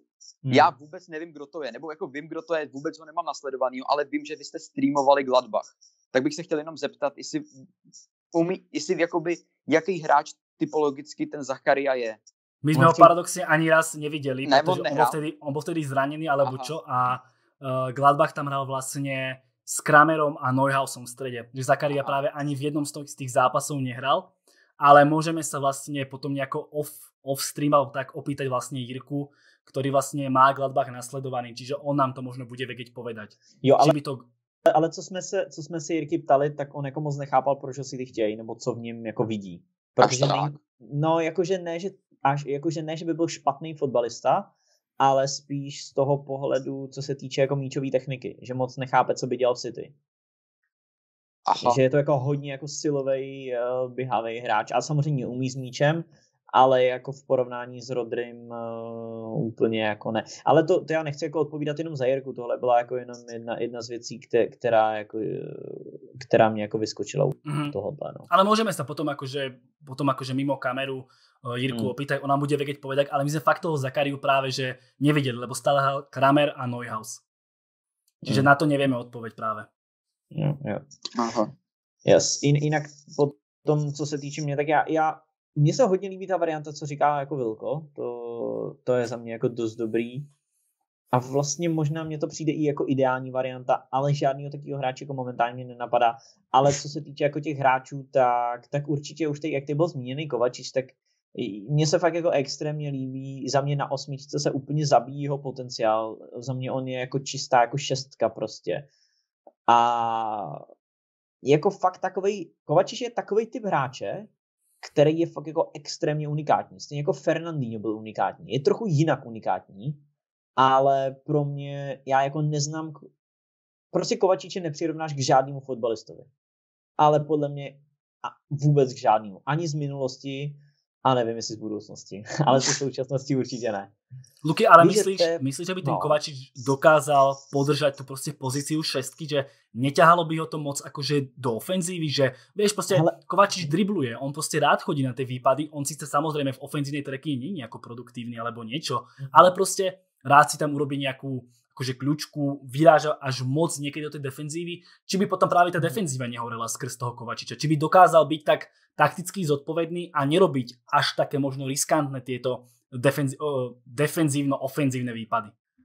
Yes. Ale já se toho vůbec nebojím, že já jsem ho viděl hrát Česku v Reálu. Mm-hmm. Já jsem ho viděl hrát Česku v Reálu, když nebyl Casemiro k dispozici a tam, jasně, on ti, on dělá jakoby nebo potáhne ten míč a tak dále, dostane se výš, ale on ne, že není produktivní, ale on se o to ani nesnaží. Mm-hmm. Od ní ani nevidíš ani pokus o tu, o tu uh, finální přihrávku. To znamená, že jasně, on ti udělá průnik, přihraje, ale pak jde dozadu. Mm-hmm. Víš, takže v tomhle, tam pr- problém bych viděl v tom, kdyby se stlačil do zakončení, víš, a tyhle Ale věci, problém může být to, že ztratí loptu. Jasně, jasně, tak ta, přirozeně, může se to stát, ale kolikrát si viděl Kovačiče za ty tři roky, co je v Premier League startit To nevím, to by se museli najít statistiky, že jako má úspěšnost no, driblingu. To, to je jako, jako velká gratulace tomu, kdo mu dokáže odebrat míč. Já, jako hodně jako já to můžem vyhledat, jak chceš. Klidně, jakože to fakt vyhledej, protože to by mě hodně zajímalo, kolikrát Kovačič ztratil míč, jakoby... Při driblingu. Jako, při driblingu, kámo, to podle mě spočítáš jako na prstech rukou. Ne, podle jako to bude dost, kámo, vidíš. No tak, hele, to jsem zvědavý, to jsem jako zvědavý, kolik, kolik to bude. Protože já se jako nevybavuju situaci, kdyby vyložený jako ztratil míč a, a pak by se šel třeba do protiútoku nebo něco takového. Mm-hmm. Má, máš přímo stránku, kde se to dá najít teďka, jo? Jo, já už to, už to nějak hledám. Cool. Já to jsem fakt zvědavý, no, protože pro mě on je fakt jako takový, já, se, já jsem největší poklona pro Kovačiče byla ta, že já jsem si ho několikrát v zápase spletl s Hazardem, ještě když hráli spolu. Mm. A kámo, jestli něčím chceš hráče jakoby pochválit, tak je to tím, že si ho spleteš při driblingu s Hazardem. To jako, víš, on, on, on, ono to vypovídá jako, jako o hodně jako věcech. A, a třeba fanoušci Chelsea ho podle mě jako doteďka nedokázali pořádně docenit. Že doteďka neví, jak kvalitního fotbalistu mají v kádru. A to je jenom díky tomu, že tam mají Kanteho, který je zase taky úplně speciální fotbalista, atypický. A, a ještě lepší než Kovačič. Ale v, v, v jistém směru, v jistém směru lepší, záleží jak v čem. No. Úspěšnost driblingu sa vlastně ko, u Kovačiča pohybuje v tejto minulej a predminulej sezóne v Chelsea na úrovni od 82%, 83 dá sa povedať, po 75 v tejto sezóne. Čiže mm. jeden zo štyroch stratí.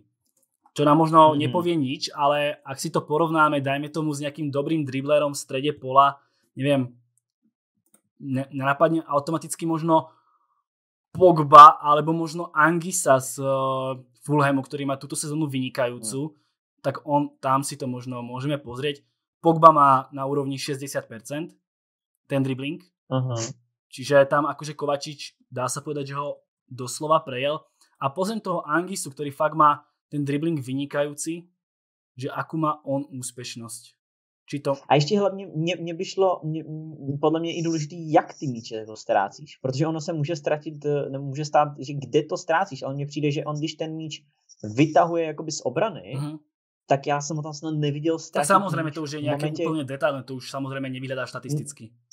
Pro, protože jasně, ono, že on hraje jako relativně vysoko Kovačič, takže tu jako, je, jako jeden ze čtyř je za mě ještě u Kovačič jako hodně ztracený. Protože za mě to podle mě jsou nebo jsou v té statistice zabraný i souboje, kdy on jde do souboje s středním záležníkem soupeře, kdy na něj vyletí nějaký jako defenzivně laděný hráč, ale on v, v momentě, kdy jako vytahuje ten míč a napadá ho útočník, křídlo nebo ofenzivní záležník, tak jako tam ho skoro nevidíš ztratit mm. míč. Víš, že když on dribluje proti hráčům, který nemají uh, defenzivní mentalitu, mm což už třeba střední záležení nebo defenzivní jako má, tak on je fakt v tomhle jako extrém, extrém a to klidně doporučuji, když se budete dívat na zápasy Chelsea, tak fakt koukejte, že Kovačič prakticky v té, jako na vlastní polovině, prakticky to je škoda, že ty statistiky nejsou úplně detailní, no to bych chtěl něco, kde to můžeme úplně, že mě by zajímalo, kolik míčů ztratil při driblinku na vlastní to, to už nie je. To mám akože dosť detailnú jo. stránku, ale až tak to nie je. Každopádne ten Angisa z Fulhamu, ktorý je fakt akože vynikajúci dribler, tak on má úroveň podobnú práve tomu uh, Kovačičovi. Dajme tomu 83 mm. má v minulej sezóne La Ligy, v tejto sezóne má nejakých 76-7, čiže podobne a to patrí k najlepším driblerom v tejto sezóne. No jasný, no. Mm. Čiže asi tak. Uh, ako vravím, ja som fakt za hráča, ktorý proste aj uh, na lopte nebude proste ani Fernandinho, ale hlavne aby to odbehal a využili sme potenciál Fodena. To je za mňa úplne, že to by mala byť priorita podľa mňa. Mm-hmm. Ja s tým souhlasím, taky s tým souhlasím. Proste dajte tam fakt aj hráče, ktorým to nebude možno až tak tvoriť. Máme tam KDBho, máme tam šikovných stopérov. Podľa mňa by to bolo asi lepšie uh, takto využívať potenciál Fodena. Ale tak už Pep musí vedieť. Liam, niečo, čo by si ešte chcel nejako doplniť k tomu Rodrimu a kauze Foden? Mm, asi já myslím, že už bylo asi všechno hmm. řečené, co se týče Rodry a, Rodry a Foden. Jako, hm, nemyslím si, že to ještě potřeba nějak hmm. doplňovat. Hmm. Pri využívaní alebo nevyužívaní vlastně hráčů z akadémie, ale ještě ostaneme, keďže Akadémia City patří, dá se povedať, že v současnosti k tým lepším sú tam fakt zaujímavé, zaujímavé mená. Mám tu pár akože vypichnutých. Dilep, Brav, o ktorom sa špekuluje, že by mal vlastne odísť do Dortmundu, keďže, keďže prakticky vôbec nehráva. Eh, dá sa povedať, že je to podobná kauza ako Sancho. Eh, ďalej tam je vlastne Harwood Belly stoper, je tam, je tam Felix Dmecha. Fakt tí hráči sú hodne šikovní. Otázka. Dokážu sa presadiť v tak nabitom kádri Manchesteru City? Môžeme napríklad spomenúť práve toho Dilepa, ktorý dostal šancu, myslím, raz v ligovom pohári. OK, kluk má 17 rokov, 23, ale páli neskutočné bomby. Aj napriek tomu, že bol Jesus vlastne zranený, Aguero bol zranený, on šancu v Premier League nedostal. Uh, za mňa je to dosť smutné, pretože sú to fakt všetko talentovaní hráči, to nie sú iba nejaké náhodné mená z akadémie, ale fakt aj nejako rankingovo ich radíme medzi najväčšie talenty tých akadémií, proste sú najväčšie talenty Manchesteru City, aj napriek tomu nehrávajú a ja sa nečudujem, že napríklad ten Jaden Brav chce proste odísť z toho City, pretože šanca, že on dostane príležitosť je podľa mňa veľmi nízka príde do Dortmundu a tam proste tie minúty dostane. Tam sa to proste točí, tam tí hráči hrajú základ v 17. Uh, Liam, otázka, je podľa teba Manchester City to správne miesto na prerazenie do mužského futbalu? Zjavne potenciál tých hráčov vedia rozvíjať, viď Dilep, viď Sancho, viď títo futbalisti, ale vyslovene na to prerazenie do toho A mužstva. Možno to bola aj kauza Angelino, to je ďalší skvelý prípad. Přesně, jak, jak jsi řekl, podle mě Manchester je skvělý na vývoj. Jo, na vývoj je to ideální, protože oni mají geniální metody, skvělý tréninkový centrum, skvělou akademii. Pro mladý hráče je dostat se do Manchesteru, do akademie Manchesteru City jedno z nejlepších věcí, co se jim může stát pro jakoby ten jejich raný vývoj. Ovšem, pokud se budeme bavit o proražení do dospělého fotbalu, tam už je to bohužel horší, no, tam už je to jiná pohádka. No. Mm. Tam, tam, tam ta úspěšnost není, není moc velká, jo, protože když se podíváme, tak Sancho odešel a kde je teď, jo. Foden mohl odejít, měl, mě, Everton o něj měl zájem, Celtic o něj měl zájem, Ajax o něj měl zájem. On zůstal v City jenom z důvodu toho, že ten klub miluje prostě. Jenom z toho důvodu zůstal v City. Jinak kdyby odešel, tak je úplně jinde. Jo, dá se to očekávat, že pokud odejde Bráv, tak neříkám, že z něj bude další jako Sancho, ale je to velice pravděpodobný. Jo, takže jako, jestli, jestli je otázka taková, jestli je Manchester City ideální na proražení do dospělého fotbalu, tak ne. Mm-hmm.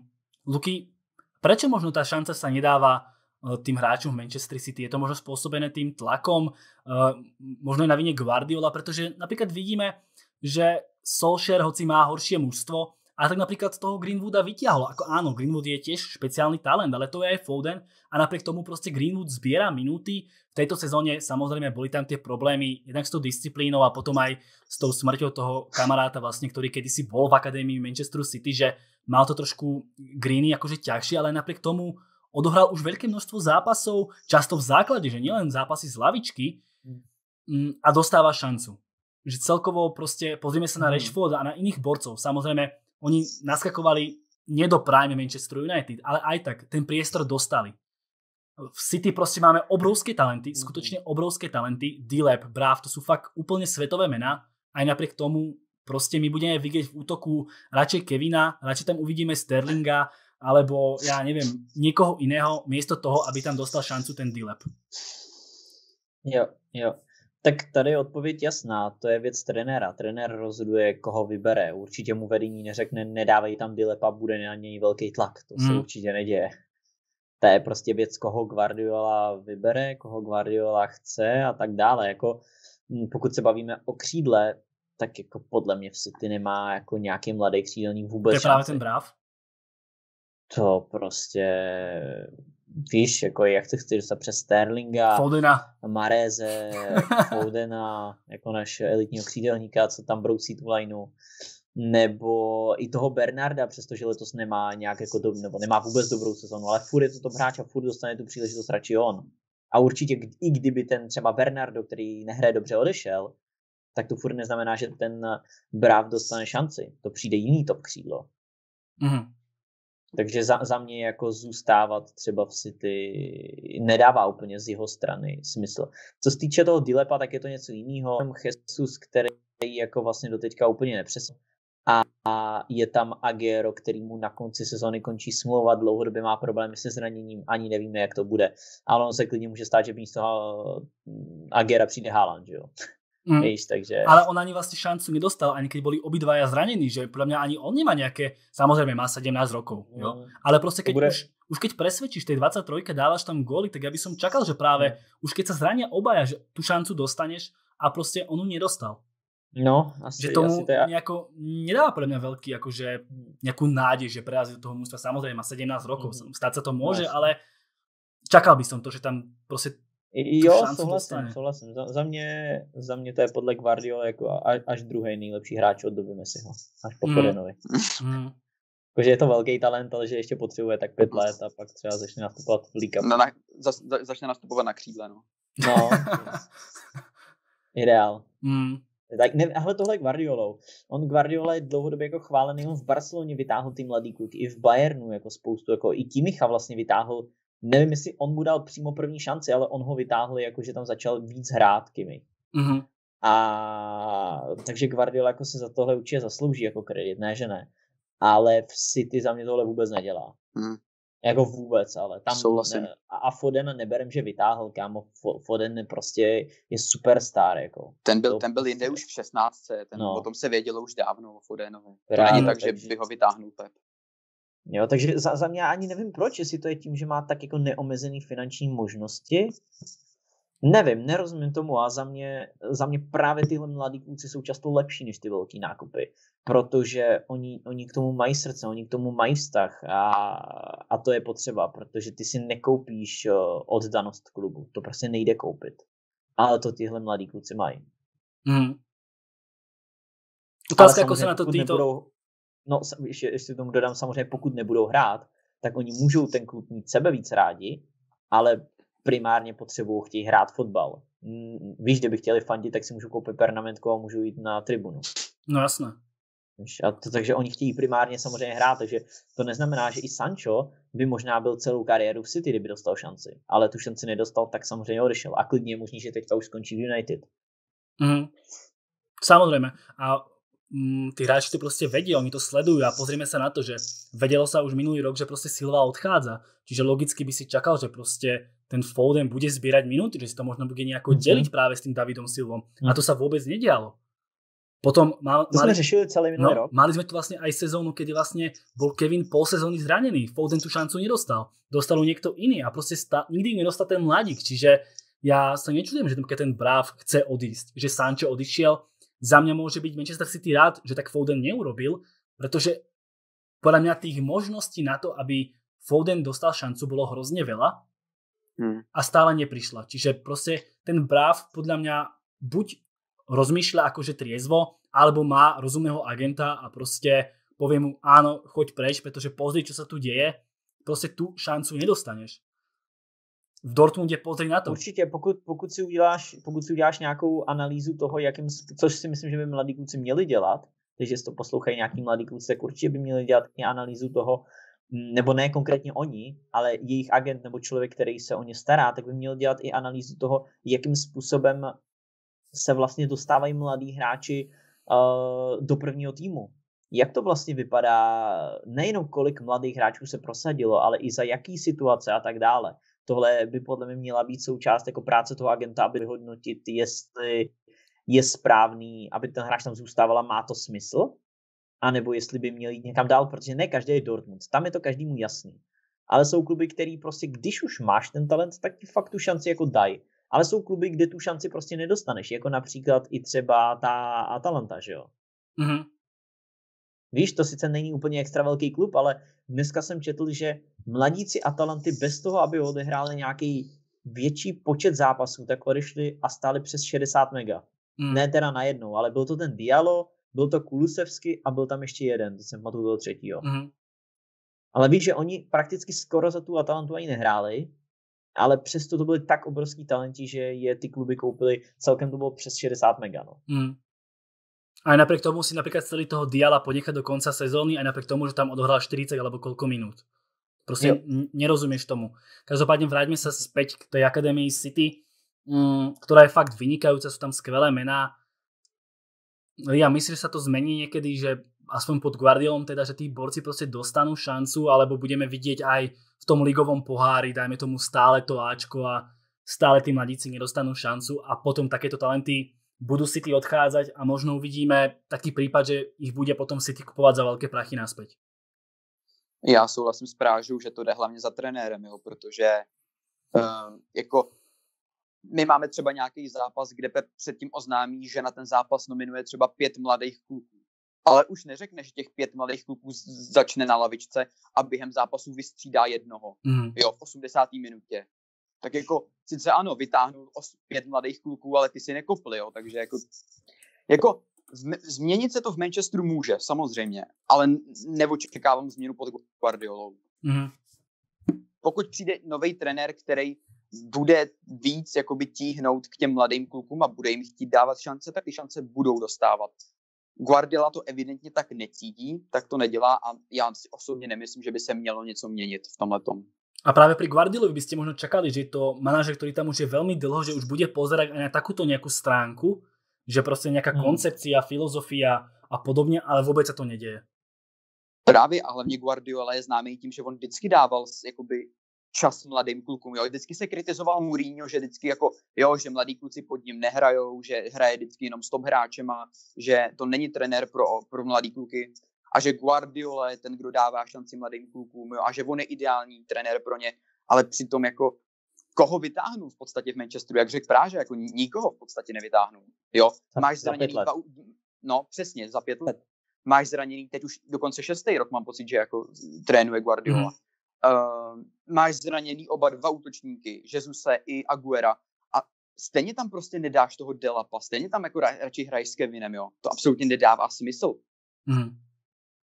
A zvlášť, keď máš proste podporu vedenia, si tam 6 rokov, že proste tam už máš nejaké meno, postavenie a že proste už aj dal si tomu mústvu nejakú tvár, nejakú filozofiu nastavil a stále proste nič a nič a nič. A vážne, keď sa pozriete, Guardiola nevyťahol jedno meno za 6 rokov.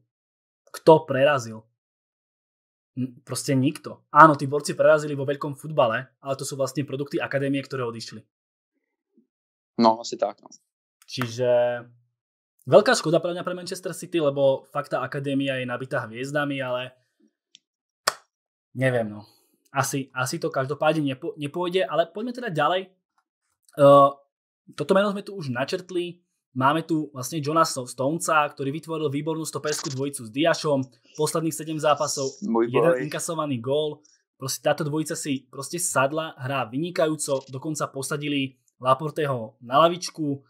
Uh, Prvá otázka znie takto. Veríte Stonecovi, že už, dajme tomu, je to možno jeho štvrtá šanca alebo tretia, že dokáže takéto výkony predvádzať dlhodobo? Uh, je to spôsobené Diašom alebo, alebo nie? Čiže tu dáme dve otázky. A ešte tretia otázka. Končí mu vlastne kontrakt v roku 2022.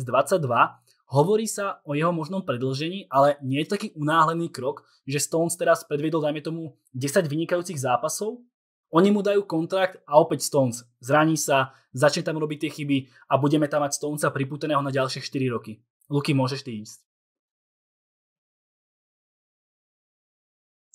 Hrozně, hrozně těžká otázka, jakože, ale extrémně těžká, na to prakticky není odpověď.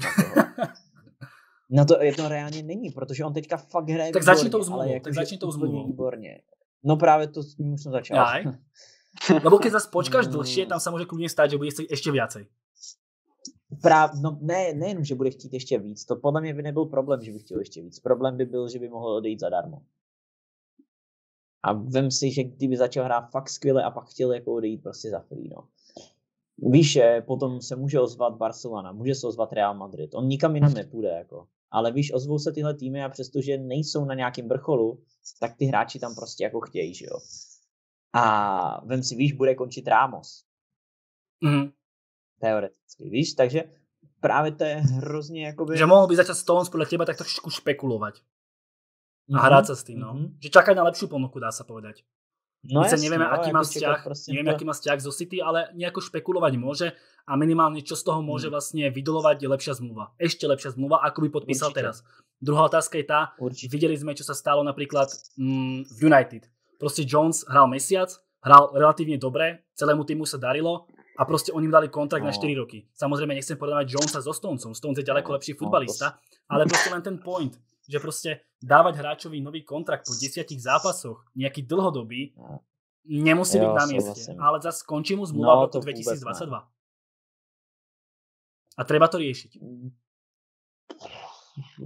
Extrémně složitý, extrémně složitý. A tohle už jsou situace, víš, jsou situace, kdy si ve fotbale řekneme, že prostě co v tom vedení dělají, hmm. že jsou šílenci ale jsou situace, kdy je to i extrémně složitý a to je například tahle situace a že je to brutálně složitý, jak to vlastně jako vyřešit. Já reálně na to teďka jako neznám jako odpověď, jakože co bych udělal, jako reálně... A nezabudajme na Stonesovu minulost. No právě, jako po tom všem, co se stalo, tak já osobně bych šel asi do risku a počkal bych do konce sezóny. Šel mhm. bych do toho risku, že bych mu teďka novou smlouvu nedával, řekl bych, že hele, bude se to řešit na konci sezóny, bude víc času, bla, bla, bla a tak dále. A asi bych mu ji teďka nedal, ale klidně by tohle i mohl být ve finále fail, jo? protože by se klidně mohlo stát, že on eh, potom řekne, že prostě víš, že odehraje brutální sezónu a řekne, víš, zavolej mu z Barcelony, vydrž ještě rok a my tě vememe stejně jako Garciu zadarmo. Například. Například. A budete hrát spolu v obraně. Alebo bude stať nebo, velmi málo. Hm, tak, nebo bude, tak si, no jasně.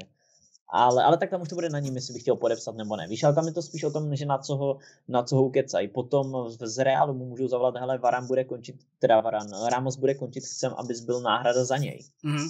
A to už jako obě dvě varianty jsou reální, jak Barca, tak Real. A to jsou ty kluby, na který ty hráči prostě slyší.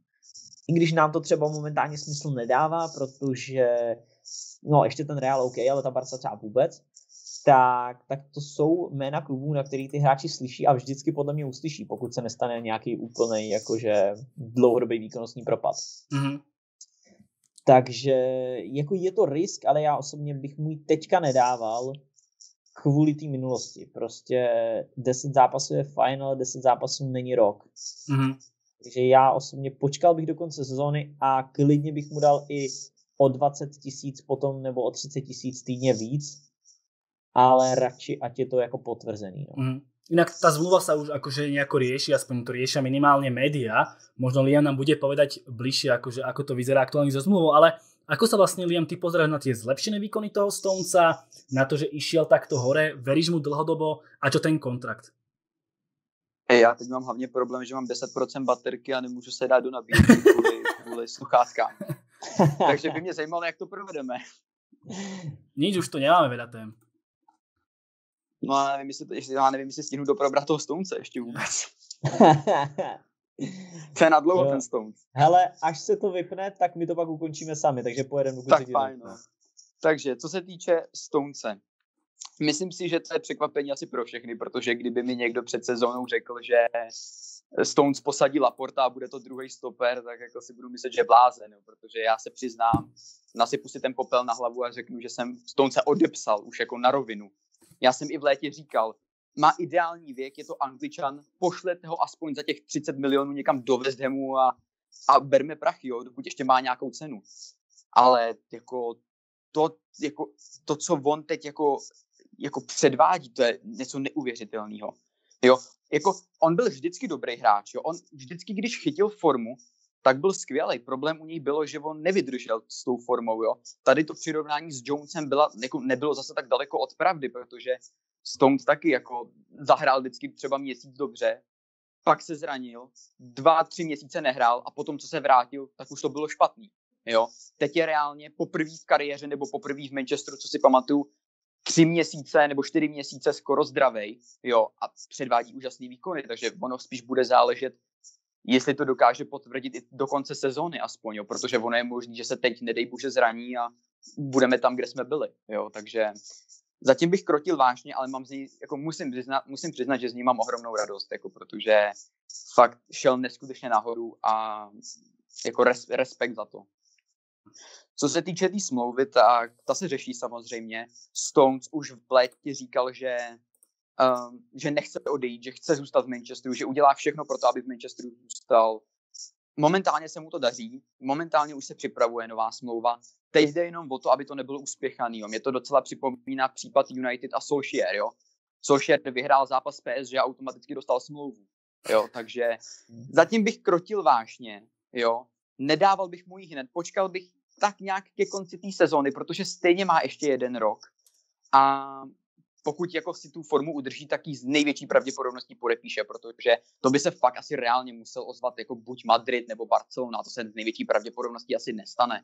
Jo, takže ale on chce zůstat v Manchesteru a věřím, že, že klidně do konce sezony počká a potom, když ji, když ji dostane, tak ji podepíše, si myslím. Hmm. Takže... Jinak nevím, jestli tam byla ještě nějaká... Ne, to bylo vlastně, to bylo vlastně celé. Čemu ještě veríš? A ty Velko, jak bys to udělal ty? Ja by som určite čakal. Ja neradávam uh, týmto proste borcom Súhlasím. tieto ďalšie šance. Je to o mne známe, že proste um, ak dostaneš šancu raz, nevyužiješ OK, druhýkrát, tretíkrát, dajme tomu, ale to je prípad ako kedysi Smalling, Bayi, uh, Jones a to idem teraz na United, ale proste týmto hráčom nemôžeš dávať dokola šancu, potom zistíš, že tu sú reálne 10 rokov a z toho 6 rokov im dáva šancu a možno jedna sezóna im vyšla dobrá. To je prípad Smalling, ktorý hral pol roka pod Fanchálom brutálny futbal, veď to bol Maldini normálne. Jo, ale ako, ako to celé potom dopadlo? Zase dala sa mu zmluva a tak ďalej a tak ďalej. Začarovaný kruh. Ja nie som tohto fanúši, fanúšikom a za mňa tie zranenia, keď sa opakujú pravidelne alebo nejaké výkyvy formy, tam môže prísť nejaký akože návrat alebo niečo, ale fakt veľa hráčov, ktorí sa proste sú často zranení, tak sú často zranení stále. Že málo kedy vidíš nejaké rapidné zlepšenie, že hráč bol 3 roky stále out a potom zrazu 8 sezón odohrá bez zranenia. To, to vidíš málo kedy. Čiže ja Stoncovi stále ešte neverím. Ukázal, že stále na to má, ale neverím, že dokáže byť ešte zdravotne stále fit a že tam nejaké tie chybičky jeho také klasické obrany neprídu.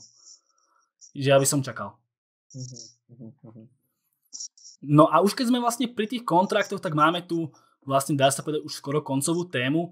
Uh, rieši sa aj nový kontrakt pre Aguera. My sme to vlastne už s Danom, iným fanúšikom City vlastne riešili, že dajú, mu nový kontrakt, nedajú mu nový kontrakt. Máme vlastne polovicu sezóny, Aguero stále neodohral dokopy nič. Uh, končí mu zmluva na konci tejto sezóny.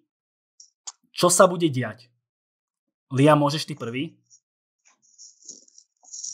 Co se bude dít, no, to, to, je, to je o hvězdách, no, co se bude dít, jako reálně my ani nemáme představu, jak Aguero hraje momentálně, jo, protože on skoro tři čtvrtě roku nehraje kvůli tomu no zranění kolena, který utrpěl. Jo. Takže kdyby aspoň hrál, tak máme představu, jako jestli jo, smlouvu, jo, smlouvu ne, ale on je reálně ani nehraje, takže my nevíme, jestli jako tu smlouvu, jo.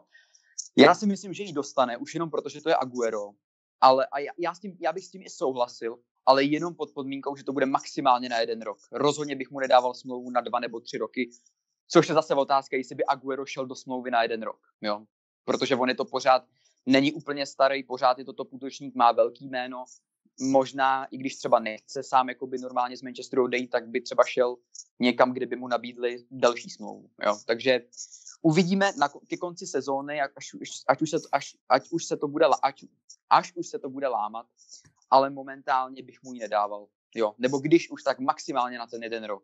Ale to už jako i, i s přihmouřenýma očima. A veril by si mu ten další rok, že to bude opět ten Aguero po tom zranění a že bude dávat stále góly a, že na něm bude spoľah? Protože doteraz byl na Aguera stále spoľah.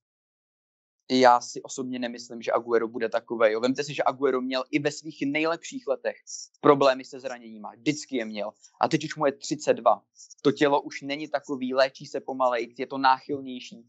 Takže když už předtím měl ty problémy, teď je bude mít ještě horší. Jo, takže já už s ním upřímně úplně nepočítám jako ten Aguero, jako ten první útočník, který je neohrožený. Spíš s ním tak počítám tak 50 na 50 se Jezusem, ale úplně nejradši bych byl, kdyby přišel jiný útočník. Jo, říkám, Aguero, když už zůstat tak 50 na 50 na jeden rok, ale v ideálním případě podle mě by asi asi by měl odejít a měl by přijít jiný útočník. Takže jiný útočník, ale typu Haaland, Harry Kane a podobně. Prostě jasná jednotka. Jo, jasná jednotka, jasný hráč, který bude střílet góly, protože Jesus je jiný hráč. Hmm. Jesus není gólový střelec, jo, to je, to je pracovitý hráč, ten si to odběhá, odpresuje, eh, skvělý do kombinace, ale není to ostrostřelec, jo ideální by to bylo, kdyby třeba to zkusil s někým ve dvojčleném útoku s tím, kdo bude dávat ty góly. Jo, takže typ, nevím, třeba Haaland, když nevím, jestli Haaland jako je možnost, aby přišel vůbec. Ale prostě gólový útočník a pustit Aguera pryč. Tohle je moje momentální, jakoby, můj mindset, který momentálně mám. A to se bavíme o Aguerovi jako o jednom z nejlepších útočníků celé historie Premier League. Je, je to, je smutný. to smutné. Je to smutný, no, ale zdraví jako to zdraví neovlivníš. No. Luky, tvoj pohled? Já věřím, okay, že kdy, já, já věřím, jenom, jenom věřím, že kdyby byl zdravý, tak je pořád skvělý. Jo. Tady bohužel jenom jediný problém je to zdraví, bohužel. No. To je jenom, co jsem chtěl o tom Luky? říct. Jo, já si víceméně souhlasím. Ono, mm, u, u toho Agera je problém, co se týče těch zranění. To je, to je jako ten největší fuck up. A ono, kdyby tady nebyl Jesus, tak já bych byl vlastně úplně v pohodě s tím, aby Agero podepsal tu novou smlouvu. S tím, že by byl dvojka. Ale v momentě, kde tu máš Jezuse, tak jako on v žádném případě nemůže být jednička. A ty potřebuješ fakt hráče, který bude číslo jedna. Takže my se bavíme jenom o dvou variantách. Buď Agero jako číslo jedna a nikdo do útoku nepřijde, s tím, že občas může hrát Jesus, a Což je asi nejhorší scénář, no. No. A nebo přijde nový útočník. Ale pokud přijde nový útočník, tak musíš pustit Agera. A proto jsem pro druhou variantu. A ani ne kvůli tomu, že bych Agerovi nevěřil. Já osobně furt věřím, že Agero je pořád top hráč. Já věřím, že on, eh, pokud teda po sezóně někam půjde, tak klidně zase těch 15-20 gólů jako dá. Ale ale pokud si ty chce titul nejenom v Premier League, ale i v Lize mistrů a, a chce pořád výš a výš, tak za mě ten útočník je tam jako, jako určitě potřeba. Hmm. Za, mě, za mě takhle. Smlouva pro Agera, já osobně bych ji neprodlužoval, pokud se nestane zázrak a do konce sezóny nedá prostě v 15 zápasech 18 gólů, čehož on je schopný. tak jako ne, samozřejmě. Prostě počkal bych do konce sezóny, s tím, že ale tady v tomhle případě už asi předem říkám, že bych byl spíš pro příchod jako novýho útočníka, než, eh, než dávání další smlouvy Agea. Bohužel to tentokrát to, to úplně nemůže on, ale má ten jako nejhorší jako prostě pozdě, on prostě to závisí na něm a na něm skoro v úvozovkách závisí, jestli se vyhraje titul, protože když dá 25 gólů, tak pravděpodobně ten titul vyhrajou, že jo, ale Mm-hmm. Takže, takže tak. A, a nemůže tam bohužel zůstat jako náhradník, protože to je jediné, že by odešel Jesus, ale to už je se blbost, to je zbytečně složitý. Mm, a on by ani asi nechtěl být náhradník. A hlavně, jako, a hlavně jako prodávat Jesuse, který mu je 23 nebo 24 let a je to skvělý hráč. Jako, jo. To by nedávalo smysl. Nechat, právě, si, právě. nechat si 33 letého Aguera a prodat do 10 let mladšího Jezuse, který může být o další dva roky úplně zase někde jinde, to by hmm. nedávalo smysl. Určitě ne, no, určitě ne. Takže, takže, takže jako tak, možná z nějaký jako nostalgie bych ho tam jako nechal, ale čistě jako pragmaticky určitě, hmm. určitě bych šel tou variantou v momentě, kdy, kdy se bavíme o tom, že může přijít Haaland, může přijít potenciálně Kane, nebo fakt jako jméno, který ti tam zandá 25 gólů skoro, skoro jisto jistě, tak to už, eh, to už se o tom chceš bavit. No. Samozřejmě, já s tím úplně souhlasím. Také smutné mi bylo vidět Aguera opúšťať Manchester City, nie na konci kariéry, protože za mě Aguero je ta vůbec možno asi najvýraznější postava hmm. celého klubu, no. respektive tej celej novodobej histórie, ale prostě my tu často rozprávame o tom, ako že kluby robia chyby, robia veci zlé a hmm. sú až príliš nostalgickí a toto je pre mňa ten prípad. Každopádne, posledná vlastne taká jedna téma. Ako to vidíte vlastne so šancami Manchester City na titul? Dokáže to Manchester City v tejto sezóne urvať? Vieme, sezóna je, aká je proste. Ani jedno mužstvo nie je dokonalé, každý má proste chyby. City má Guardiolu a to musí takto hnusne doslova povedať, ktorý to môže, dá sa povedať, že aj pokaziť Liverpool trápi po stopéra, tiež sú nejako málo efektívni teraz v poslednej tretine. United má tiež veľa chýb, každý má proste chyby, má ich aj Spurs, má ich aj Leicester. Ako vidíte šance Manchesteru City na titul? Liam, môžeš ty. Uh, my jsme se o tom spolu bavili velko hmm. a máme stejný názor, jo.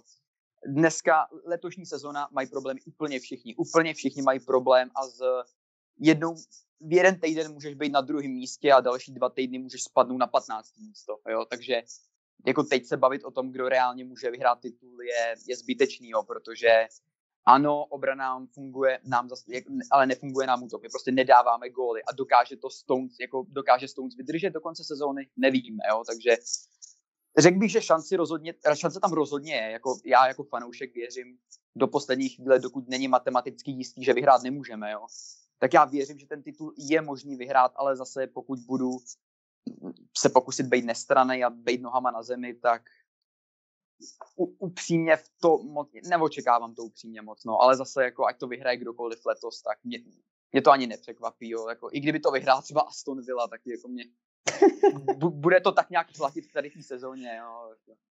Luky, ty radíš Manchester City za najväčšieho ašpiranta na titul v tejto sezóne? Mm, jako tak asi jako neřadím je jako největšího aspiranta. Koho radíš? No, to jsem zvědavý. No. Jako, já, já, já si stojím za tou Aston Villou. Hele, jako právě a, asi jako nikoho, nebo... Tak musíš mít jedného favorita, na kterého by si vsadil. Nějaké percento tam musí být do plusu pre někoho. Já mám například City. Máš City, mm. jo. Jako Vážně. City mají, prostě, City mají prostě nejlepší kádr a v momentě, kdy se vrátí Agero a bude dávat goly Agero, tak titul vyhrajou. O tom jsem přesvědčený. V momentě, kdy Agero bude dávat goly, tak vyhrajou titul. Ale já, já úplně moc nevěřím jeho zdraví. No právě. Jako... Povedz United, povedz United. Jako já se podívám vlastně, jak to vypadá ještě tabulkové úplně přesně teď. Tak United je tam vysoko hodně. No jako, jo, jako já jsem slyšel, že jste schválně pro... A? Mám pocit, že mu se mu vybila baterka Liamovi. Ale nevadí, byl tady s náma dlouho. Hele, jakože Ty vole, já asi možná furt ještě ten Tottenham, ty vole. Ale vážně? Tak veríš Mourinhovi? Asi. Jako já, jako jednak Mourinhovi, ale hlavně ty dvojici Son Kane. Mhm. A věřím tomu, že tam skvěle funguje ta záloha, je tam Hojberg, že jo. Mm, A... No. Asi jo, asi jo. Asi, asi furt, fakt, fakt asi, kdybych se měl na někoho teďka vsadit. No, kdybych si měl na někoho vsadit, tak ve finále stejně vsadím na City, no. Mhm, No, as, asi jo, asi bych vsadil spíš na City, ale hned za ním má jako potom Tottenham, no. Mhm. Ale, tak záleží, kdybych věděl, že do konce sezóny se Agero ne, nebude dávat góly, tak sadím fakt na Tottenham. Jo. Ale Já- jak já- tam mám ještě furt to, že by mohl přijít Agero, on je fakt blázen, on ti tam za- zandá, prostě on je schopný zandat 15 gólů ještě. Mhm. Mňa už Nechce. 15 nie, ale skrz to zranenie dlho nehral. No, Ale je- nějaké góly tam- On, je blázen, ček, vem si, jako neříkám, že jí dá do konce sezóny 15, možný žádný hrát nebude vůbec a nic, ale ale spíš uh, spíš, že on je prostě blázen, že on fakt jako je schopný nastoupit a první zápas dát hetrik, že to já bych se Mm. vůbec nedivil. Mhm. Každopádne vyhral to najväčší klikaš. Klikaš. Asi tak. Vyhraje to klikaš. Je to tak. Je to tak? A kdyby to tak nebylo, tak co? Tak to tak bude. Tak to tak mohlo být. Každopádne som rád, že sme stili vlastne prebeh tak všetky témy s Liemom. No Yes. a Luky, môžeš to vlastne nejako uzavrieť nám. Yes, uh, my děkujeme Liamovi, že dorazil na ten podcast. Uh, doufáme, že je také rád, přestože teďka nic neříká. A s váma se vidíme zase u nějakého dalšího podcastu. A já jsem hlavně rád, že máme konečně fanouška Manchester City takhle na podcasty, což je super. A Dana, Dana nerátaš? tak, da, tak Dan, Dan s náma jezdí ty, Dan s náma jezdí streamy, ale na podcasty jsme nikoho neměli, že jo? To aj na dělali podcasty. pod- No Dělali jasné. jsme na podcasty. A proč tam vůbec dneska nebyl Dan teda? A, Lebo ja som ho volal, ale hlavne kvôli tomu, že on je teraz v Česku a celý setup má v Anglicku. A on je odcestoval do Anglicka. jo, Inak a by tu bol, veď. No jo, jo, takhle, takže prostě to fláká Dan, no. Mm. No, uh, každopádně to je cool a hlavně jsem, jsme nějaký řešili lidi na Inter, že jo? Takže to je jenom taková trošku off věc, ale že na Inter by mohl být podcast, jak moc to vypadá reálně. V útorok. Teoreticky. Fí.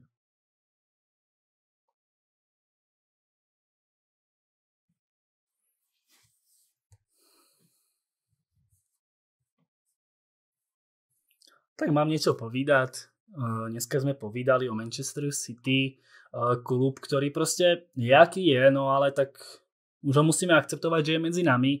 Mne osobne veľmi sympatický nie je, no ale čo už s ním, no. Asi tak, nemám čo viac povedať.